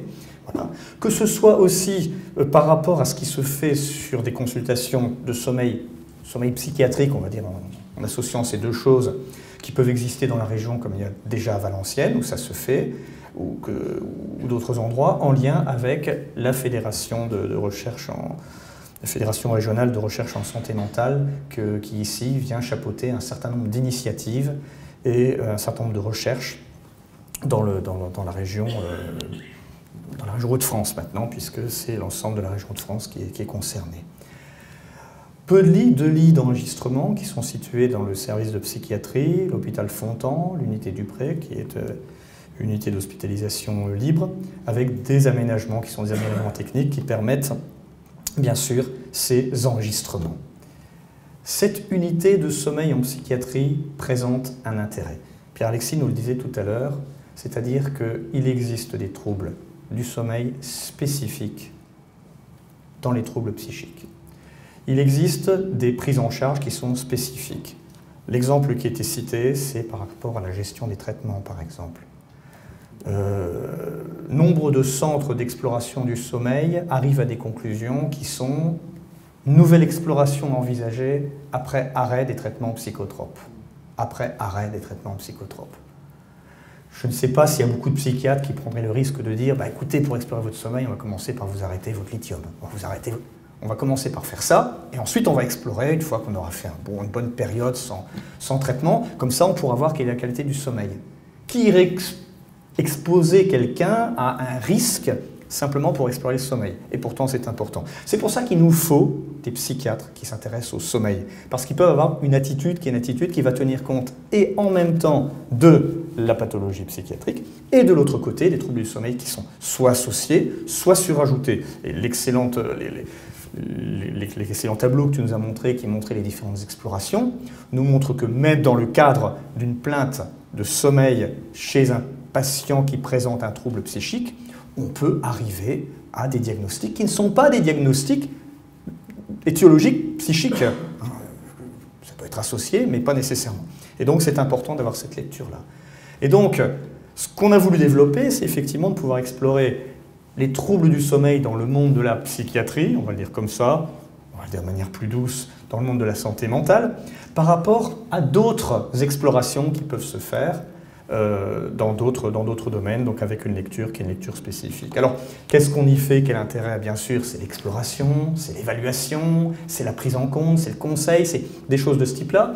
Également, de pouvoir envisager des programmes qui sont des programmes dits éducatifs, je sais pas ce terme-là, mais enfin c'est comme ça que ça s'appelle. Exploration de la plainte du sommeil, au travers donc, bah, de, questionnaires, hein, tu, en as, tu en as parlé, euh, d'agenda de sommeil, euh, méthode d'actimétrie, hein, ces, fameux, ces, fameux, capteurs dont tu parles, hein, qui effectivement euh, évoquent aux patients des, des, montres des années, des années 2000, euh, donc en 2010, 2018, là c'est beaucoup trop, et bien sûr les enregistrements. Mais surtout, et ce qui me semble important, tu en as, tu en as très bien parlé, c'est pour ça, mais je reprendrai la formule que, la, formule que, que j'aime bien concernant l'agenda du sommeil, c'est l'arme de, l'arme de dissuasion massive. Hein. C'est, celui-là, l'arme de dissuasion massive. l'agenda, l'agenda du sommeil. L'agenda du sommeil, c'est un repérage. L'agenda du sommeil, c'est un auto-repérage. Et l'agenda du sommeil, c'est aussi déjà une action qui est une action modificatrice du sommeil. Lorsque j'enregistre mon sommeil, je vais avoir tendance déjà à le modifier on est déjà dans le fait d'envisager des changements et de pouvoir mettre en place un certain nombre de changements. Et ça, c'est extrêmement important. Hein. C'est vraiment l'arme massive, hein, l'agenda du sommeil. D'un autre côté, après cette exploration de la plainte du sommeil, bien sûr, des prises en charge qui sont proposées. La gestion des traitements hypnotiques. Et là, il est effectivement important que ce soit des gens qui sont habitués à prescrire les traitements hypnotiques, des gens qui sont habitués à faire du sevrage en traitement hypnotique qui puissent s'occuper de ça. Je dis bien du sevrage en traitement hypnotique. Hein. Pas seulement dire c'est mauvais, on arrête, mais de pouvoir aussi accompagner ça. On peut se passer de certaines molécules. Voilà, on peut. Le message est intéressant. Il faut pouvoir le faire, il faut pouvoir avoir des arguments et avoir la motivation aussi pour pouvoir le faire et en même temps être entendu pour que ça puisse se faire.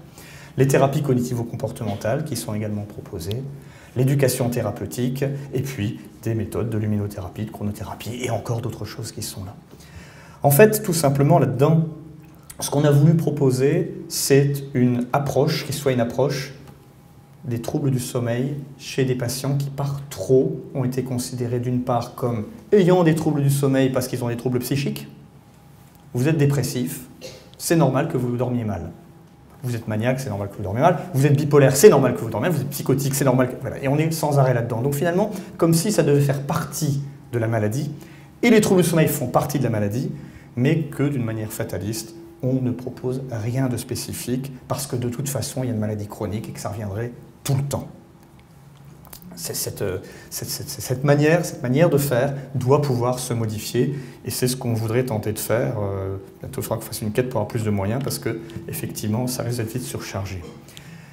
De la même manière, je voudrais juste rappeler qu'il y a des, par rapport aux enregistrements, tu nous, tu nous, disais que euh, l'élément principal dans le cadre des troubles du sommeil, c'était d'abord ce contact, la possibilité de modifier, d'enregistrer, c'est la consultation, pas forcément l'enregistrement. L'enregistrement a des indications qui sont des indications précises. Je veux juste revenir là-dessus rapidement, parce que l'enregistrement du sommeil euh, fait un peu figure du seul moyen de pouvoir correctement explorer, de pouvoir améliorer les choses. C'est pas vrai. Ça va intervenir à un moment précis. C'est loin d'être systématique et il ne faut pas cultiver ce systématisme. On peut faire un certain nombre de choses, euh, également à côté. Alors Pierre-Alexis nous a montré des, chiffres. Il se trouve que là, depuis qu'on a, ouvert cette, cette unité, euh, sur l'année 2017, sur l'ensemble des, des, enregistrements qu'on a fait, chez les patients qui sont venus, soit orientés par un psychiatre, soit venant pour des troubles, euh, des troubles du sommeil, donc des insomnies, soit de l'hypersomnie, et ça c'est important, en cas, d'hypersomnie, en cas d'hypersomnie dans la, journée, il y a lieu d'explorer le sommeil aussi. Ça reste un trouble du sommeil. C'est pas seulement le fait de mal dormir, hein. c'est important ça. Et donc sur 43 patients qui avaient un trouble, trouble bipolaire de l'humeur, qui sont venus dans ce cadre-là, de juste revenir sur l'association avec les apnées du sommeil. On a des chiffres ici, euh, ici sur l'île qui ont été faits, hein, comme local de l'étape, ça me semble logique de pouvoir le dire. Des syndromes d'apnée du sommeil sévère, ça représente 22 patients sur les 43. Ça fait 50%. 50% des patients ont un syndrome d'apnée du sommeil sévère parmi ceux qui présentaient un trouble bipolaire et qui sont venus consulter dans le cadre de la, consultation du, sommeil patients modérés et sans, apnée du sommeil, 12 euh, patients, pour lesquels, donc, euh, parmi ces patients, dans le cas de, ces syndromes sévères, avec, vous voyez quand même un, nombre, important d'apnées par heure, 25, hein, 22 patients ont été mis, pour qui on a mis en place un traitement par appareil, appareil respiratoire. Ça, ça reste non négligeable. Le troisième point sur lequel je voulais, je voulais également intervenir, puisque c'est quelque chose qu'on met en place, qu'on a mis en place ici à Lille, c'est toutes ces stratégies qui sont des stratégies qui finalement ont comme objectif, par rapport ici, par rapport au sommeil, de vous donner les clés de la maison. On donne les clés de la maison aux personnes qui souffrent. C'est pas nous. C'est ce qu'on appelle, une psychoéducation, éducation thérapeutique, en particulier ce qui a été mis en place, ces programmes d'éducation, d'éducation thérapeutique, de pouvoir rester dans le développement d'une autonomie de fonctionnement de la personne. Et là, on touche, on, touche du doigt par rapport à une question qui été posée sur le fait les médicaments peuvent avoir une incidence sur le sommeil. Oui, effectivement. Mais plus on va pouvoir aménager des moyens de mieux dormir, moins on aura besoin de médicaments pour le sommeil.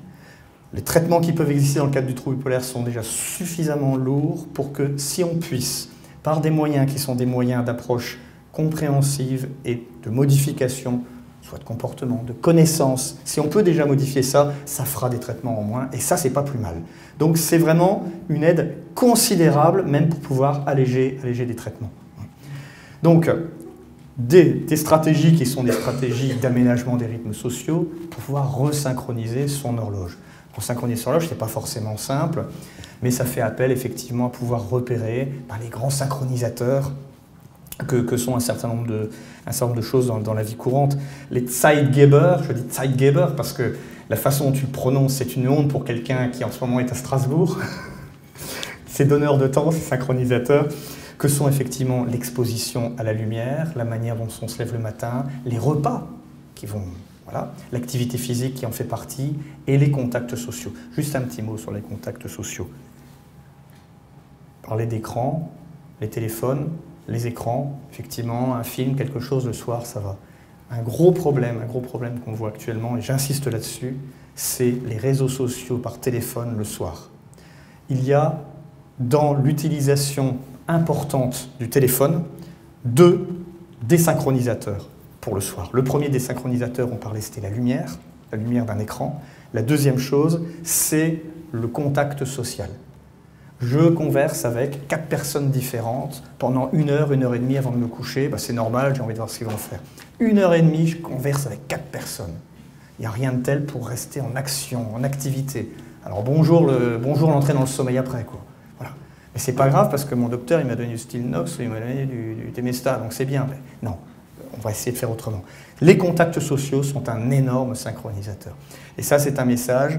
Quand on parle des, des, je dirais des jeunes, je comme un vieux, quand on parle des jeunes avec, euh, avec, euh, avec les téléphones la nuit, qui ont le téléphone, alors ils s'interpellent la nuit en s'envoyant un message sur machin, sur truc, je ne sais même plus quelles sont les messageries qu'on utilise, tout ça, allez, on sort du sommeil, on sort du sommeil, et puis c'est parti, ne serait-ce que pour répondre, pour se remettre dans le contexte, tout, et après, c'est la galère pour retrouver le sommeil. C'est quelque chose dont il, dont, il faut, dont il faut tenir compte.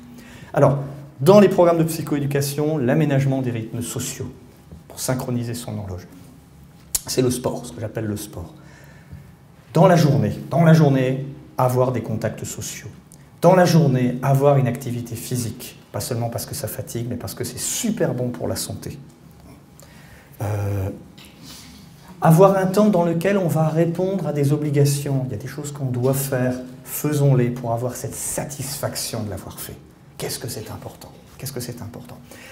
Des temps dans lesquels on peut se reposer, on n'est pas obligé d'être tout le temps en action, et puis les temps qui sont des temps de loisirs.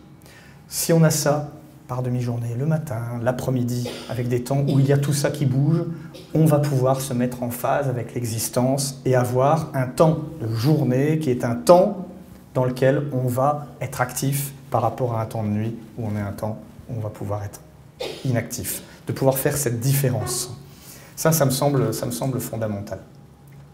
Ça semble d'ailleurs tellement fondamental, et ça c'est intéressant, que, j'en parlerai juste après ça, programme de psychoéducation, il y a une partie du programme d'éducation thérapeutique qui se fait ici à Lille, justement sur l'hygiène du sommeil. Qu'est-ce qu'il faut faire? Qu'est-ce qu'il faut éviter? On retrouve les mêmes points. C'est pas tout à fait la liste que tu as donnée, mais on est dans les mêmes choses, sur la régularité, sur éviter l'exposition. Euh, euh, on est plus sévère, hein, nous, concernant la, caféine et la théine. 14 hein. heures. Hein, peut faire 14 heures. Et voilà, il y a un certain nombre de conseils qui sont, qui sont, qui sont donnés comme ça et qui me semblent importants. Je dirais qu'on a, on a un grand nombre de, progrès, un grand nombre de progrès à faire.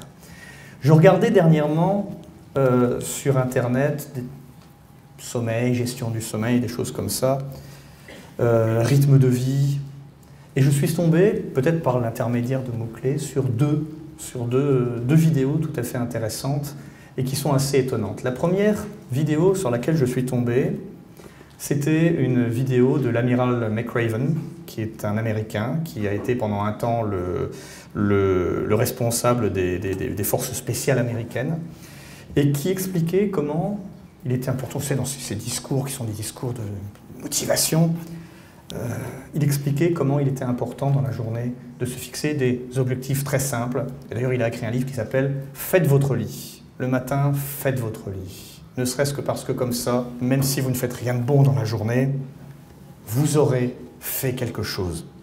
Et puis l'intérêt que ça a, c'est que même si on n'a rien fait de bon dans la journée, quand on se couche le soir, on se couche dans un lit qui est fait. Et ça, c'est très agréable. La deuxième vidéo que j'ai vue, on est exactement dans le même style. C'est une vidéo qui était faite par un ancien justement des forces spéciales américaines qui expliquait pourquoi le sommeil est important dans la vie et qui donnait des conseils sur le sommeil. Alors, comme on dit, hein, ce n'est pas forcément les personnes qui sont les plus intellectualisées, qui travaillent dans ce type d'armée. Si même eux, si même eux nous parlent des rythmes, si même eux nous parlent de l'hygiène du sommeil, je pense que nous avons, nous, déjà comme docteurs, à pouvoir en parler dans des termes qui sont des termes applicables et humains. Et puis, d'autre part, l'ensemble des personnes, quand même, euh, on a quand même des choses à faire, pour pouvoir, je dirais, modifier, bouger, aménager quelque chose qui va nous permettre d'avoir des rythmes qui sont des rythmes beaucoup plus cohérents. Parce que finalement, quand moi j'évoque tout ça dans le cas du trouble bipolaire, eh bien, on pourrait l'évoquer aussi dans le cadre de n'importe quelle situation. Le sommeil est sacré, il faut le préserver. On a des moyens pour le faire.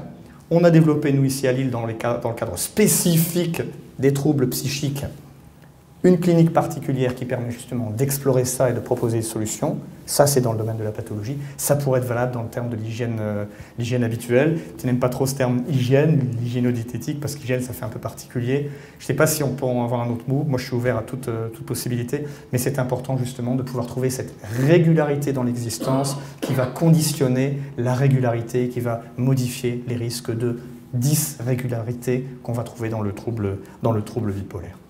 Je vous remercie de votre attention. Des questions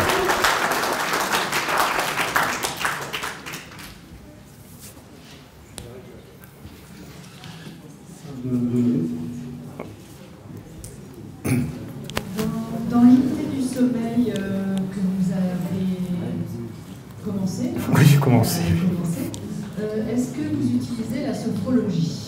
Techniques de gestion, de préparation sommeil, telles que la sophrologie ou d'autres pratiques euh, La réponse est non.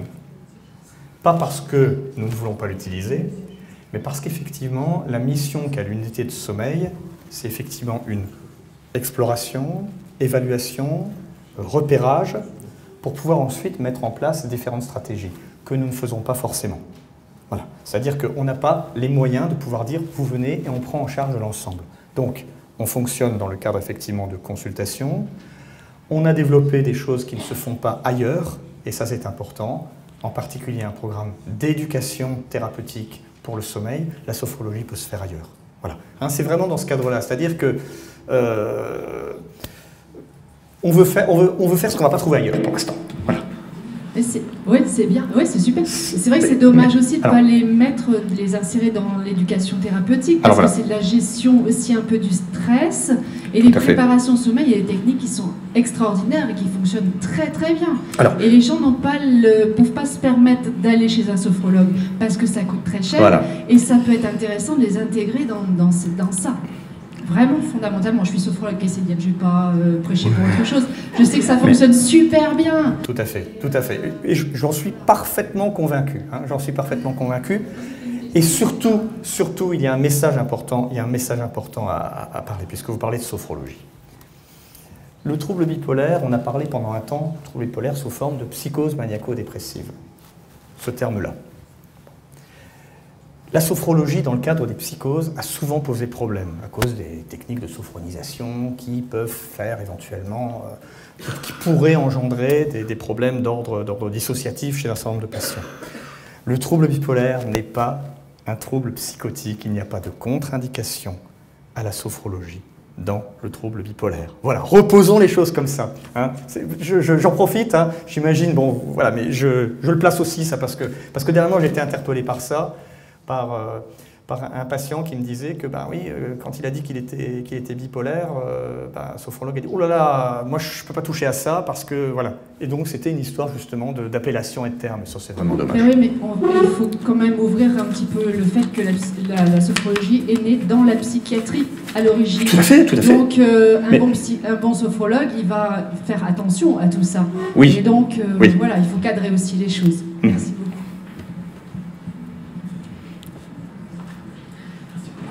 Je voulais vous demander, vous expliquez que les médicaments peuvent avoir une incidence sur le, sur le sommeil, mais est-ce que aussi le. Comment expliquer ça? Est-ce que le sommeil peut avoir une incidence sur l'effet des médicaments? Ou est-ce qu'un patient est tout simple, peut être tout simplement réfractaire au traitement? Ou est-ce que voilà, ce, le, manque de sommeil permanent ou le, trop de sommeil peut faire diminuer euh, l'effet des médicaments et du, coup cet ajout permanent Voilà, c'est bah, une excellente question. Il y, a, deux questions dedans. Hein. non, mais très bien justement. Hein, voilà. La première question, le premier, le premier qui se pose effectivement, c'est que le trouble du sommeil en tant que tel va exposer, du fait du manque de sommeil tout simplement, risque d'exposer à pas être bien. Première chose. La deuxième chose, c'est que euh, le manque de sommeil, par exemple, expose à un risque, on va dire, de plus facilement de décompensation maniaque. Donc là, c'est indépendamment des médicaments. La deuxième chose dans la question, c'est que le traitement régulateur, tous les traitements régulateurs ne vont pas forcément fonctionner chez tout le monde. Alors parler de réfractaire par réfractaire, je vais être beaucoup plus humble que ça. Je vais simplement dire que on ne connaît probablement pas suffisamment de choses pour pouvoir dire on est devant telle typologie qui fait qu'il faut donner tel type de traitement. On ne peut pas. Et donc, ça conduit malheureusement, et ça c'est une plaie pour tout le monde, même pour le prescripteur, croyez-le bien, on est obligé de tâtonner. Ah tiens, on va essayer, on va voir, ah on a quelque chose, ben voilà, et donc on maintient, même si a des effets secondaires, oui mais voilà, on est obligé de tâtonner. Donc on est obligé de faire ça, c'est une plaie, c'est impensable ça, c'est vraiment pénible. Donc, réfractaire, je ne sais pas, mais effectivement, il y a des traitements qui vont mieux fonctionner chez une personne chose, que ce soit pour une raison d'efficacité ou que ce soit aussi pour une raison d'effet secondaire. Hein, aussi, hein, Et donc, lorsqu'il y a un mauvais sommeil, les conditions d'équilibre qui existaient auparavant sont modifiées. Et donc, le traitement, bah, ce gros ballot de traitement qui fait, c'est jamais qu'un médicament, c'est avec une pilule, il fait pas grand-chose. Hein, voilà, c'est ça. Ce gros ballot, lui, il assure un équilibre. Et dès lors que on appuie sur un, côté de la balance, bah, lui, il ne s'ajuste pas automatiquement.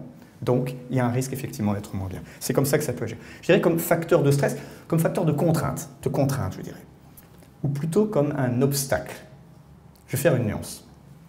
La contrainte, c'est quelque chose qui s'applique à toute personne et qu'on ne peut pas éviter. La contrainte, on ne l'évite pas. En revanche, en revanche, les obstacles, on peut les contourner. Et je crois qu'il est important que le sommeil, les troubles du sommeil, la qualité du sommeil ou les difficultés de sommeil puissent devenir pour chaque patient non pas une contrainte, mais deviennent un obstacle, quelque chose qu'il est possible de contourner. Et ça, ça serait, ça assez formidable d'arriver justement à être là-dedans. C'est pas quelque chose d'inéluctable, c'est pas quelque chose. On peut essayer d'améliorer, de changer les choses. Des traitements transitoires peuvent être utiles, ok. Transitoires, parce que Bon, c'est vrai qu'on peut être très religieux là-dedans, dire surtout pas de traitement pour le sommeil. Mais vous savez comme moi que quand pendant 15 jours, 3 semaines, 1 mois, le sommeil n'est pas au rendez-vous, que c'est pénible, un petit truc qui peut aider, c'est pas plus mal. Mais transitoire, toujours en ayant conscience du risque que. Parce qu'après, il faut, les arrêter. Hein, et certains, euh, certains sont très difficiles à arrêter. Voilà. Mais que ça devienne un obstacle, on va le contourner. C'est le contourner ensemble on va passer en. C'est vrai qu'il est 20h, donc. Euh... Désolé. Docteur vous restez avec nous après, au fond, euh, oui, oui. Donc on pourra continuer à poser. Donc maintenant, Jean-Michel Albuy, qui est euh, administrateur chez Argent euh, qui est chercheur et qui est usager euh, de, de, de, Je crois qu'il faut que vous preniez ça. Voilà, donc après le docteur Marron qui était le local de l'étape, moi je suis le bipote de l'étape. Voilà. Donc euh, comme le disait euh, Pierre Coubel, euh, je, suis, je suis parisien mais je suis chercheur depuis très longtemps. Et puis il y a, il y a donc une dizaine d'années, une tuile nous est tombée sur la tête, à savoir que j'ai été diagnostiqué bipolaire. Je dis nous parce qu'on a trois enfants avec ma femme. Voilà, donc euh, euh, je, suis chercheur et quand c'est arrivé, on a monté la communauté Enerbip. Ener, c'est le préfixe qui veut dire le secteur de l'énergie. C'est-à-dire il y a EDF, GDF, Suez, des grandes entreprises euh, qui, qui, ont un, sens du service public.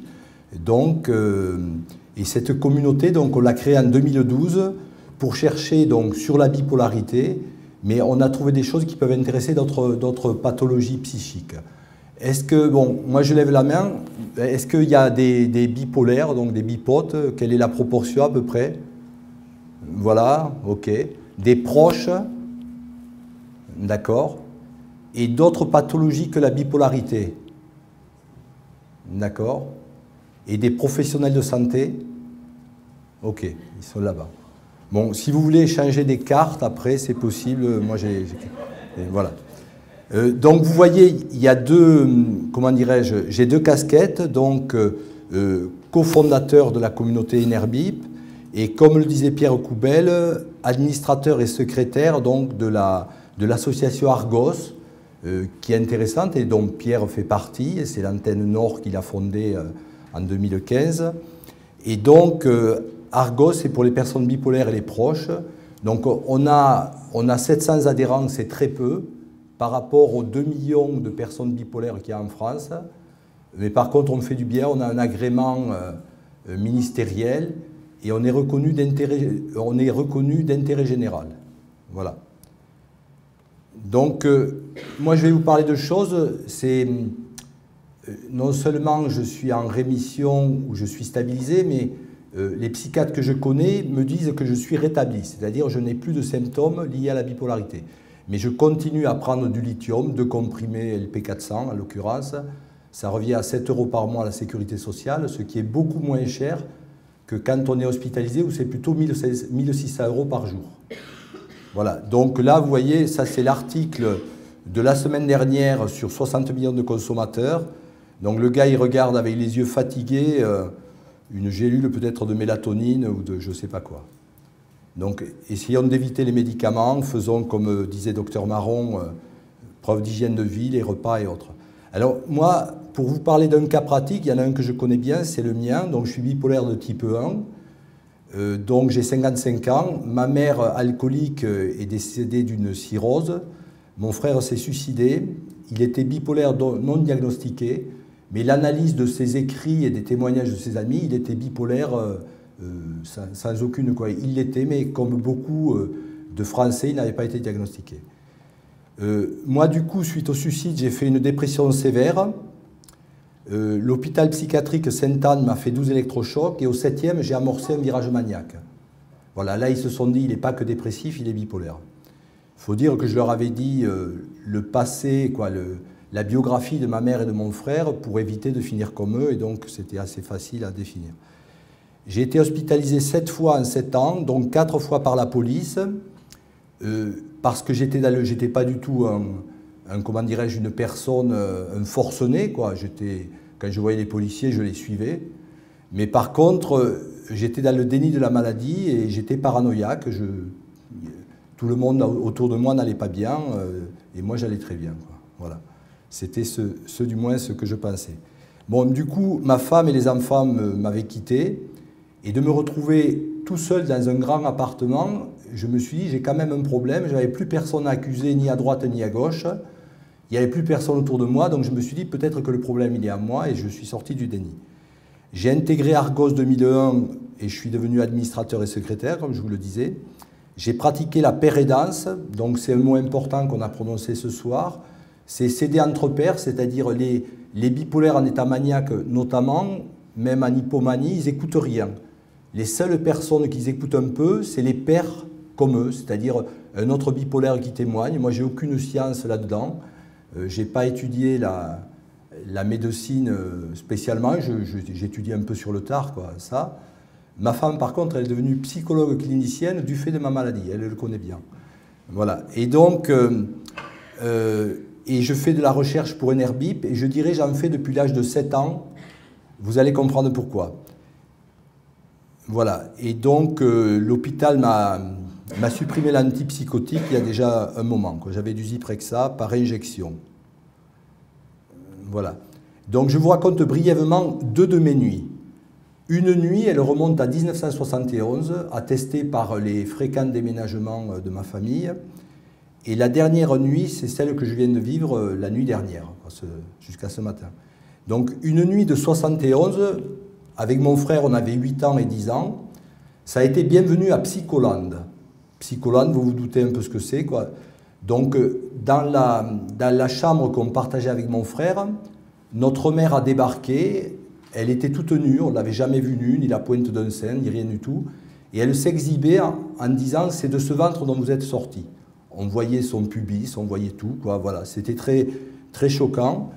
Et cette scène, elle m'a hanté jusqu'au mois de juin un peu. J'ai été comme beaucoup de bipolaires, un peu dans l'hypersexualité, sans jamais avoir trompé ma femme, mais quand même dans l'hypersexualité, et dans l'exhibitionnisme un peu, parce que ma mère avait été exhibitionniste. Un jour, je vais juste sur le point exhibitionniste, parce qu'on a des fois des témoignages, j'anime beaucoup de groupes de parole à Paris, et euh, il y, en a qui nous disent qu'ils sont exhibitionnistes. Un jour, moi, je suis rentré de la plage de Carnon-Plage à Montpellier jusqu'à Montpellier-Nord sur 15 km, tout nu sur ma moto.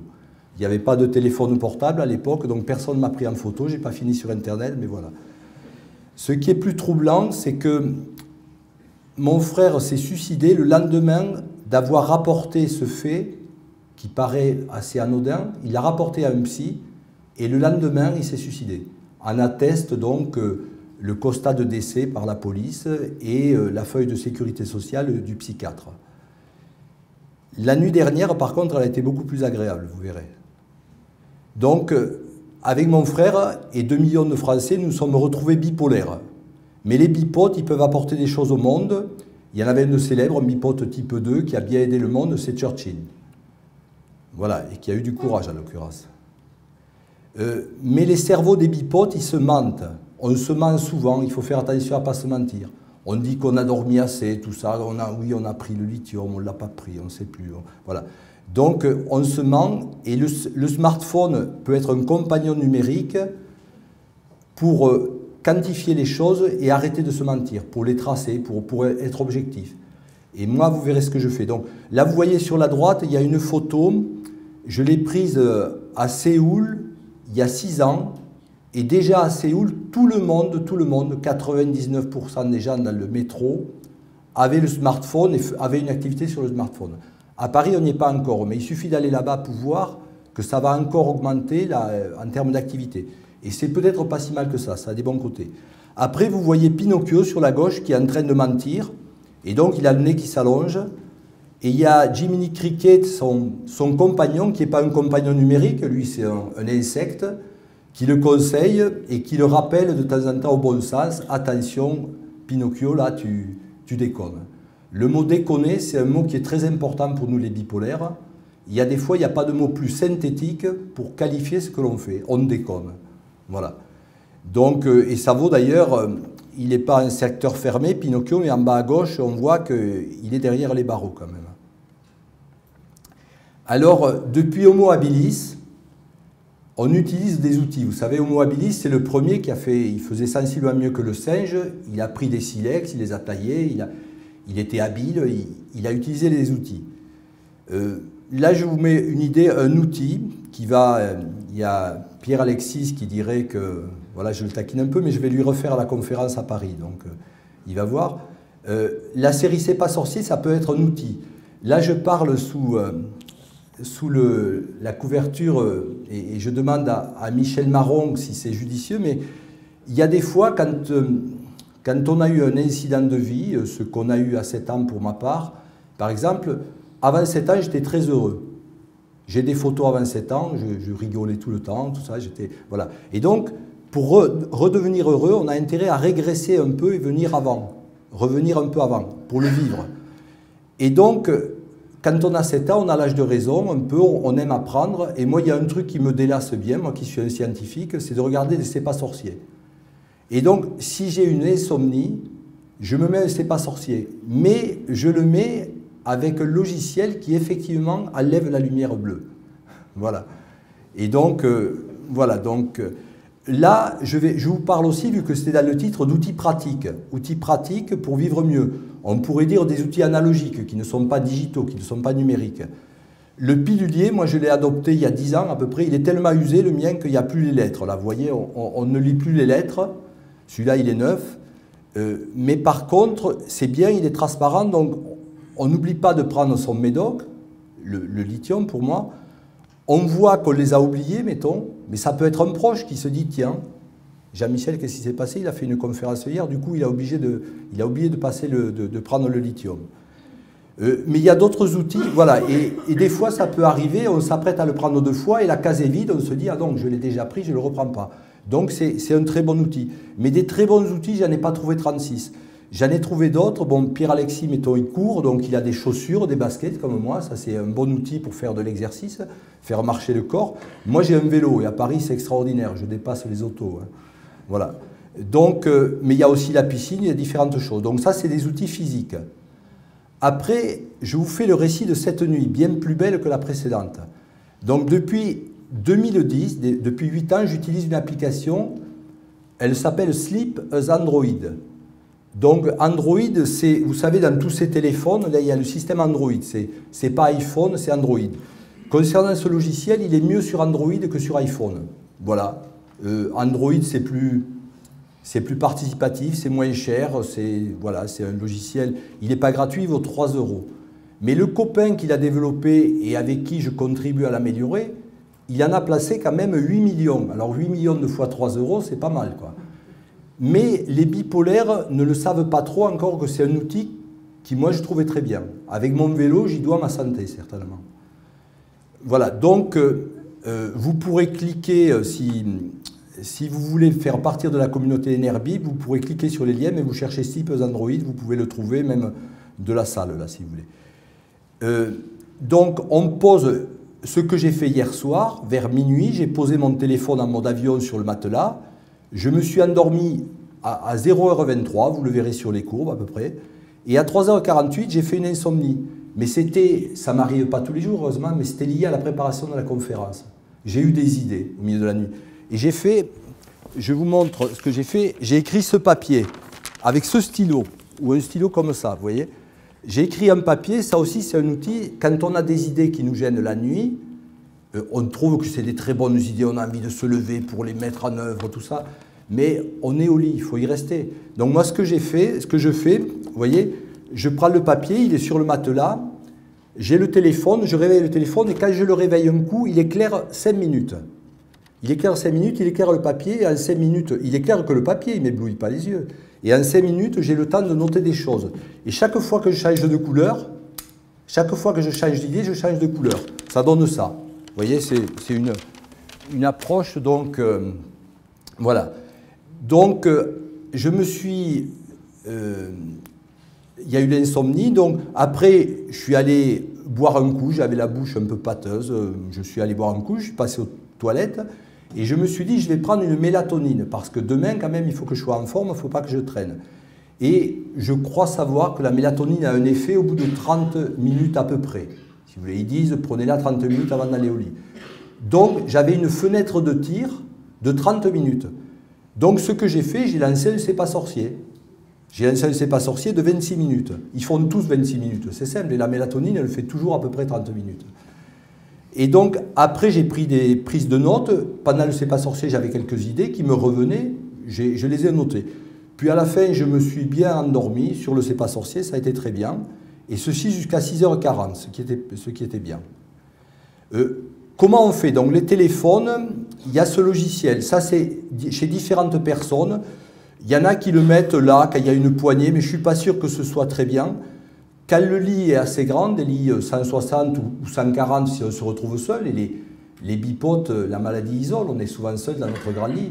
Donc euh, euh, on peut le mettre sur le lit, vous verrez. Mais je connais des personnes qui ont même cousu sur le drap, vous voyez, une pochette. Et on voit, vous voyez la lune là, et on voit la courbe de l'accéléromètre. C'est-à-dire ce téléphone, il y a plusieurs capteurs. Dedans, il y a un capteur de luminosité, là, qui éteint l'écran quand on l'approche de la joue. Mais il y a un accéléromètre. C'est-à-dire quand il bouge, il trace des courbes un peu comme un sismographe. Voilà. Euh, il y a une chose là, vous voyez, il y a un mot qui est important. On peut voir les courbes sur le PC des veilleurs. C'est-à-dire, les veilleurs, je vous en parlerai, c'est les personnes qui peuvent nous aider à voir les, courbes. C'est-à-dire nous dire, Jean-Michel, tu déconnes, mettons. Euh, vous voyez, c'est-à-dire si, si moi je faisais un mail bizarre ou des choses comme ça, bon voilà, là c'est une jeune femme, donc on voit un peu sa panoplie, alors c'est noté à haut, elle a une tablette, elle regarde ce qu'elle veut, mais c'est possible qu'elle regarde des, émissions, mais toujours avec un filtre d'écran euh, contre le bleu, et là elle est en train de noter. Et là, si on zoomait, mais comme je ne suis pas en ligne, là, je, euh, si on zoomait, on verrait les courbes qui se tracent, mais le téléphone, bien sûr, il s'éteint, il n'éteint plus du tout, euh, il n'allume plus du tout la nuit. Là, on voit qu'elle a des, tablettes, euh, je crois me rappeler que c'est de la mélatonine et du zipadera. Et elle a un livre. Les livres, c'est quand même pas mal du tout, mais les livres, il faut allumer la lumière quand même.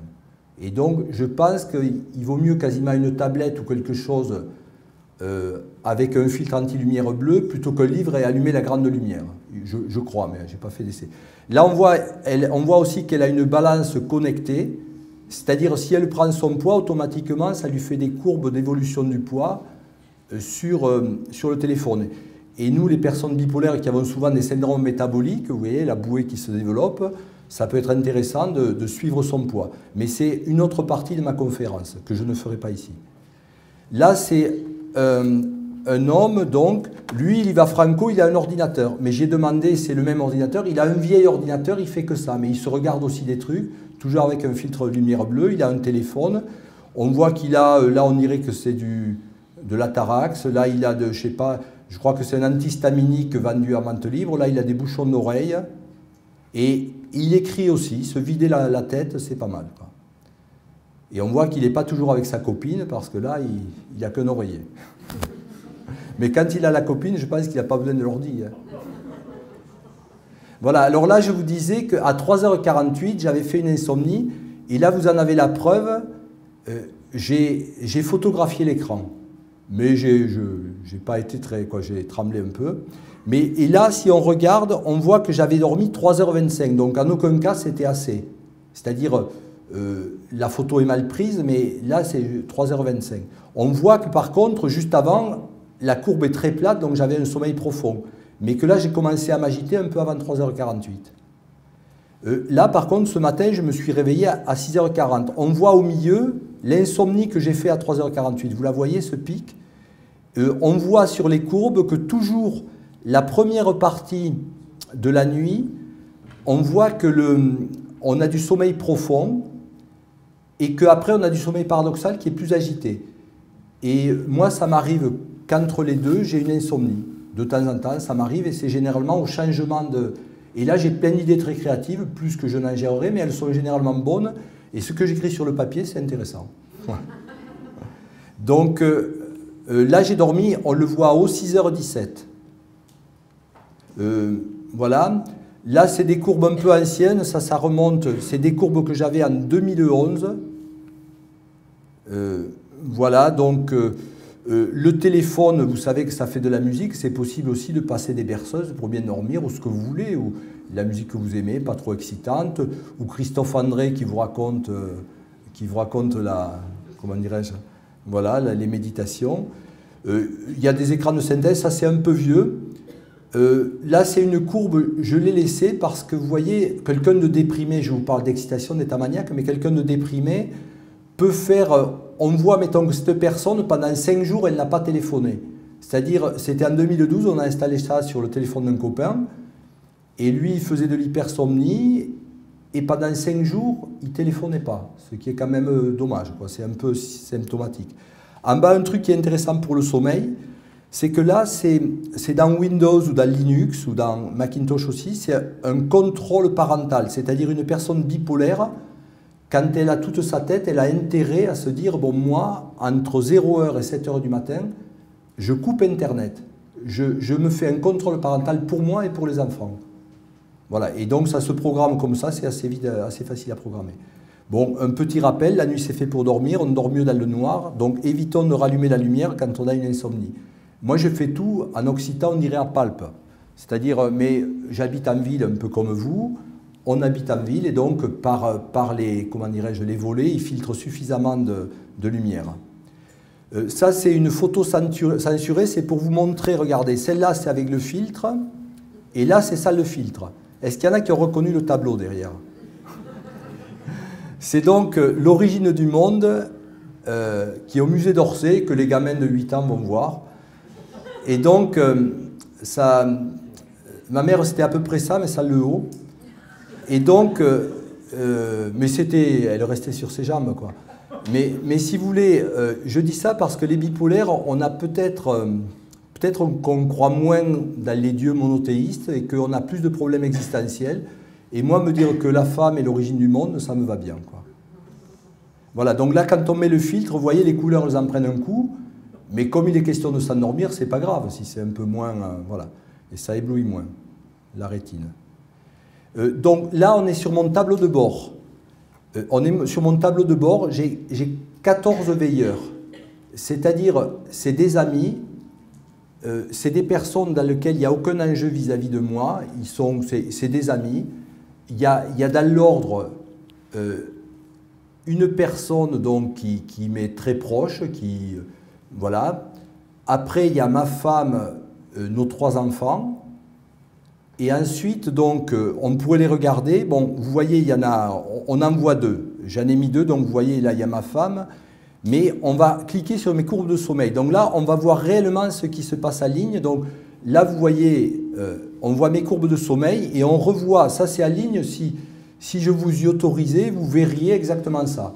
Ça se poste tous les matins automatiquement. C'est-à-dire, j'ai rien à faire, je sors mon téléphone, je dis, je me lève, je sors mon téléphone du mon avion et automatiquement le téléphone poste à un endroit qui m'est personnel mes courbes de sommeil.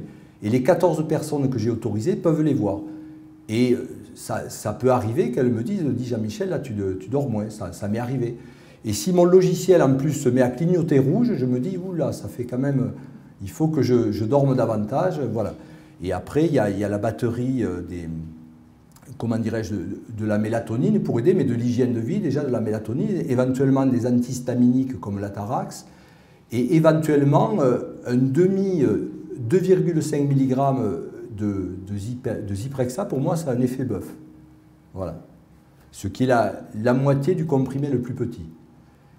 Euh, donc là, on voit que j'ai dormi 6h18, ce qu'on a vu tout à l'heure, je me suis endormi à 12h23 et on voit l'insomnie du milieu. Mais si je baisse un peu, on va voir une autre nuit. Elles y sont toutes. Il y en a 675 nuits. Vous voyez, il y, en a un paquet. Et, moi, je dis par rapport au docteur euh, Pierre-Alexis, je viendrai montrer à, Florence si vous voulez, c'est possible. Mais il n'y a, rien d'embarqué là. A, moi, on m'a fait de la polysomnographie, c'est beaucoup plus intrusif que ça. Voilà.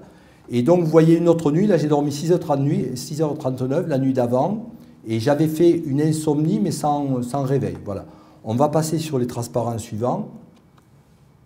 Euh, donc, Cherchons le sommeil sans la lumière, allez au lit avant minuit. Moi, c'est des petites idées que je, mis pour moi, que je me suis mise pour moi. Si insomnie à 3 heures du matin, par exemple, j'allume pas, je bois un peu d'eau, je passe au WC sans allumer, je retourne au lit.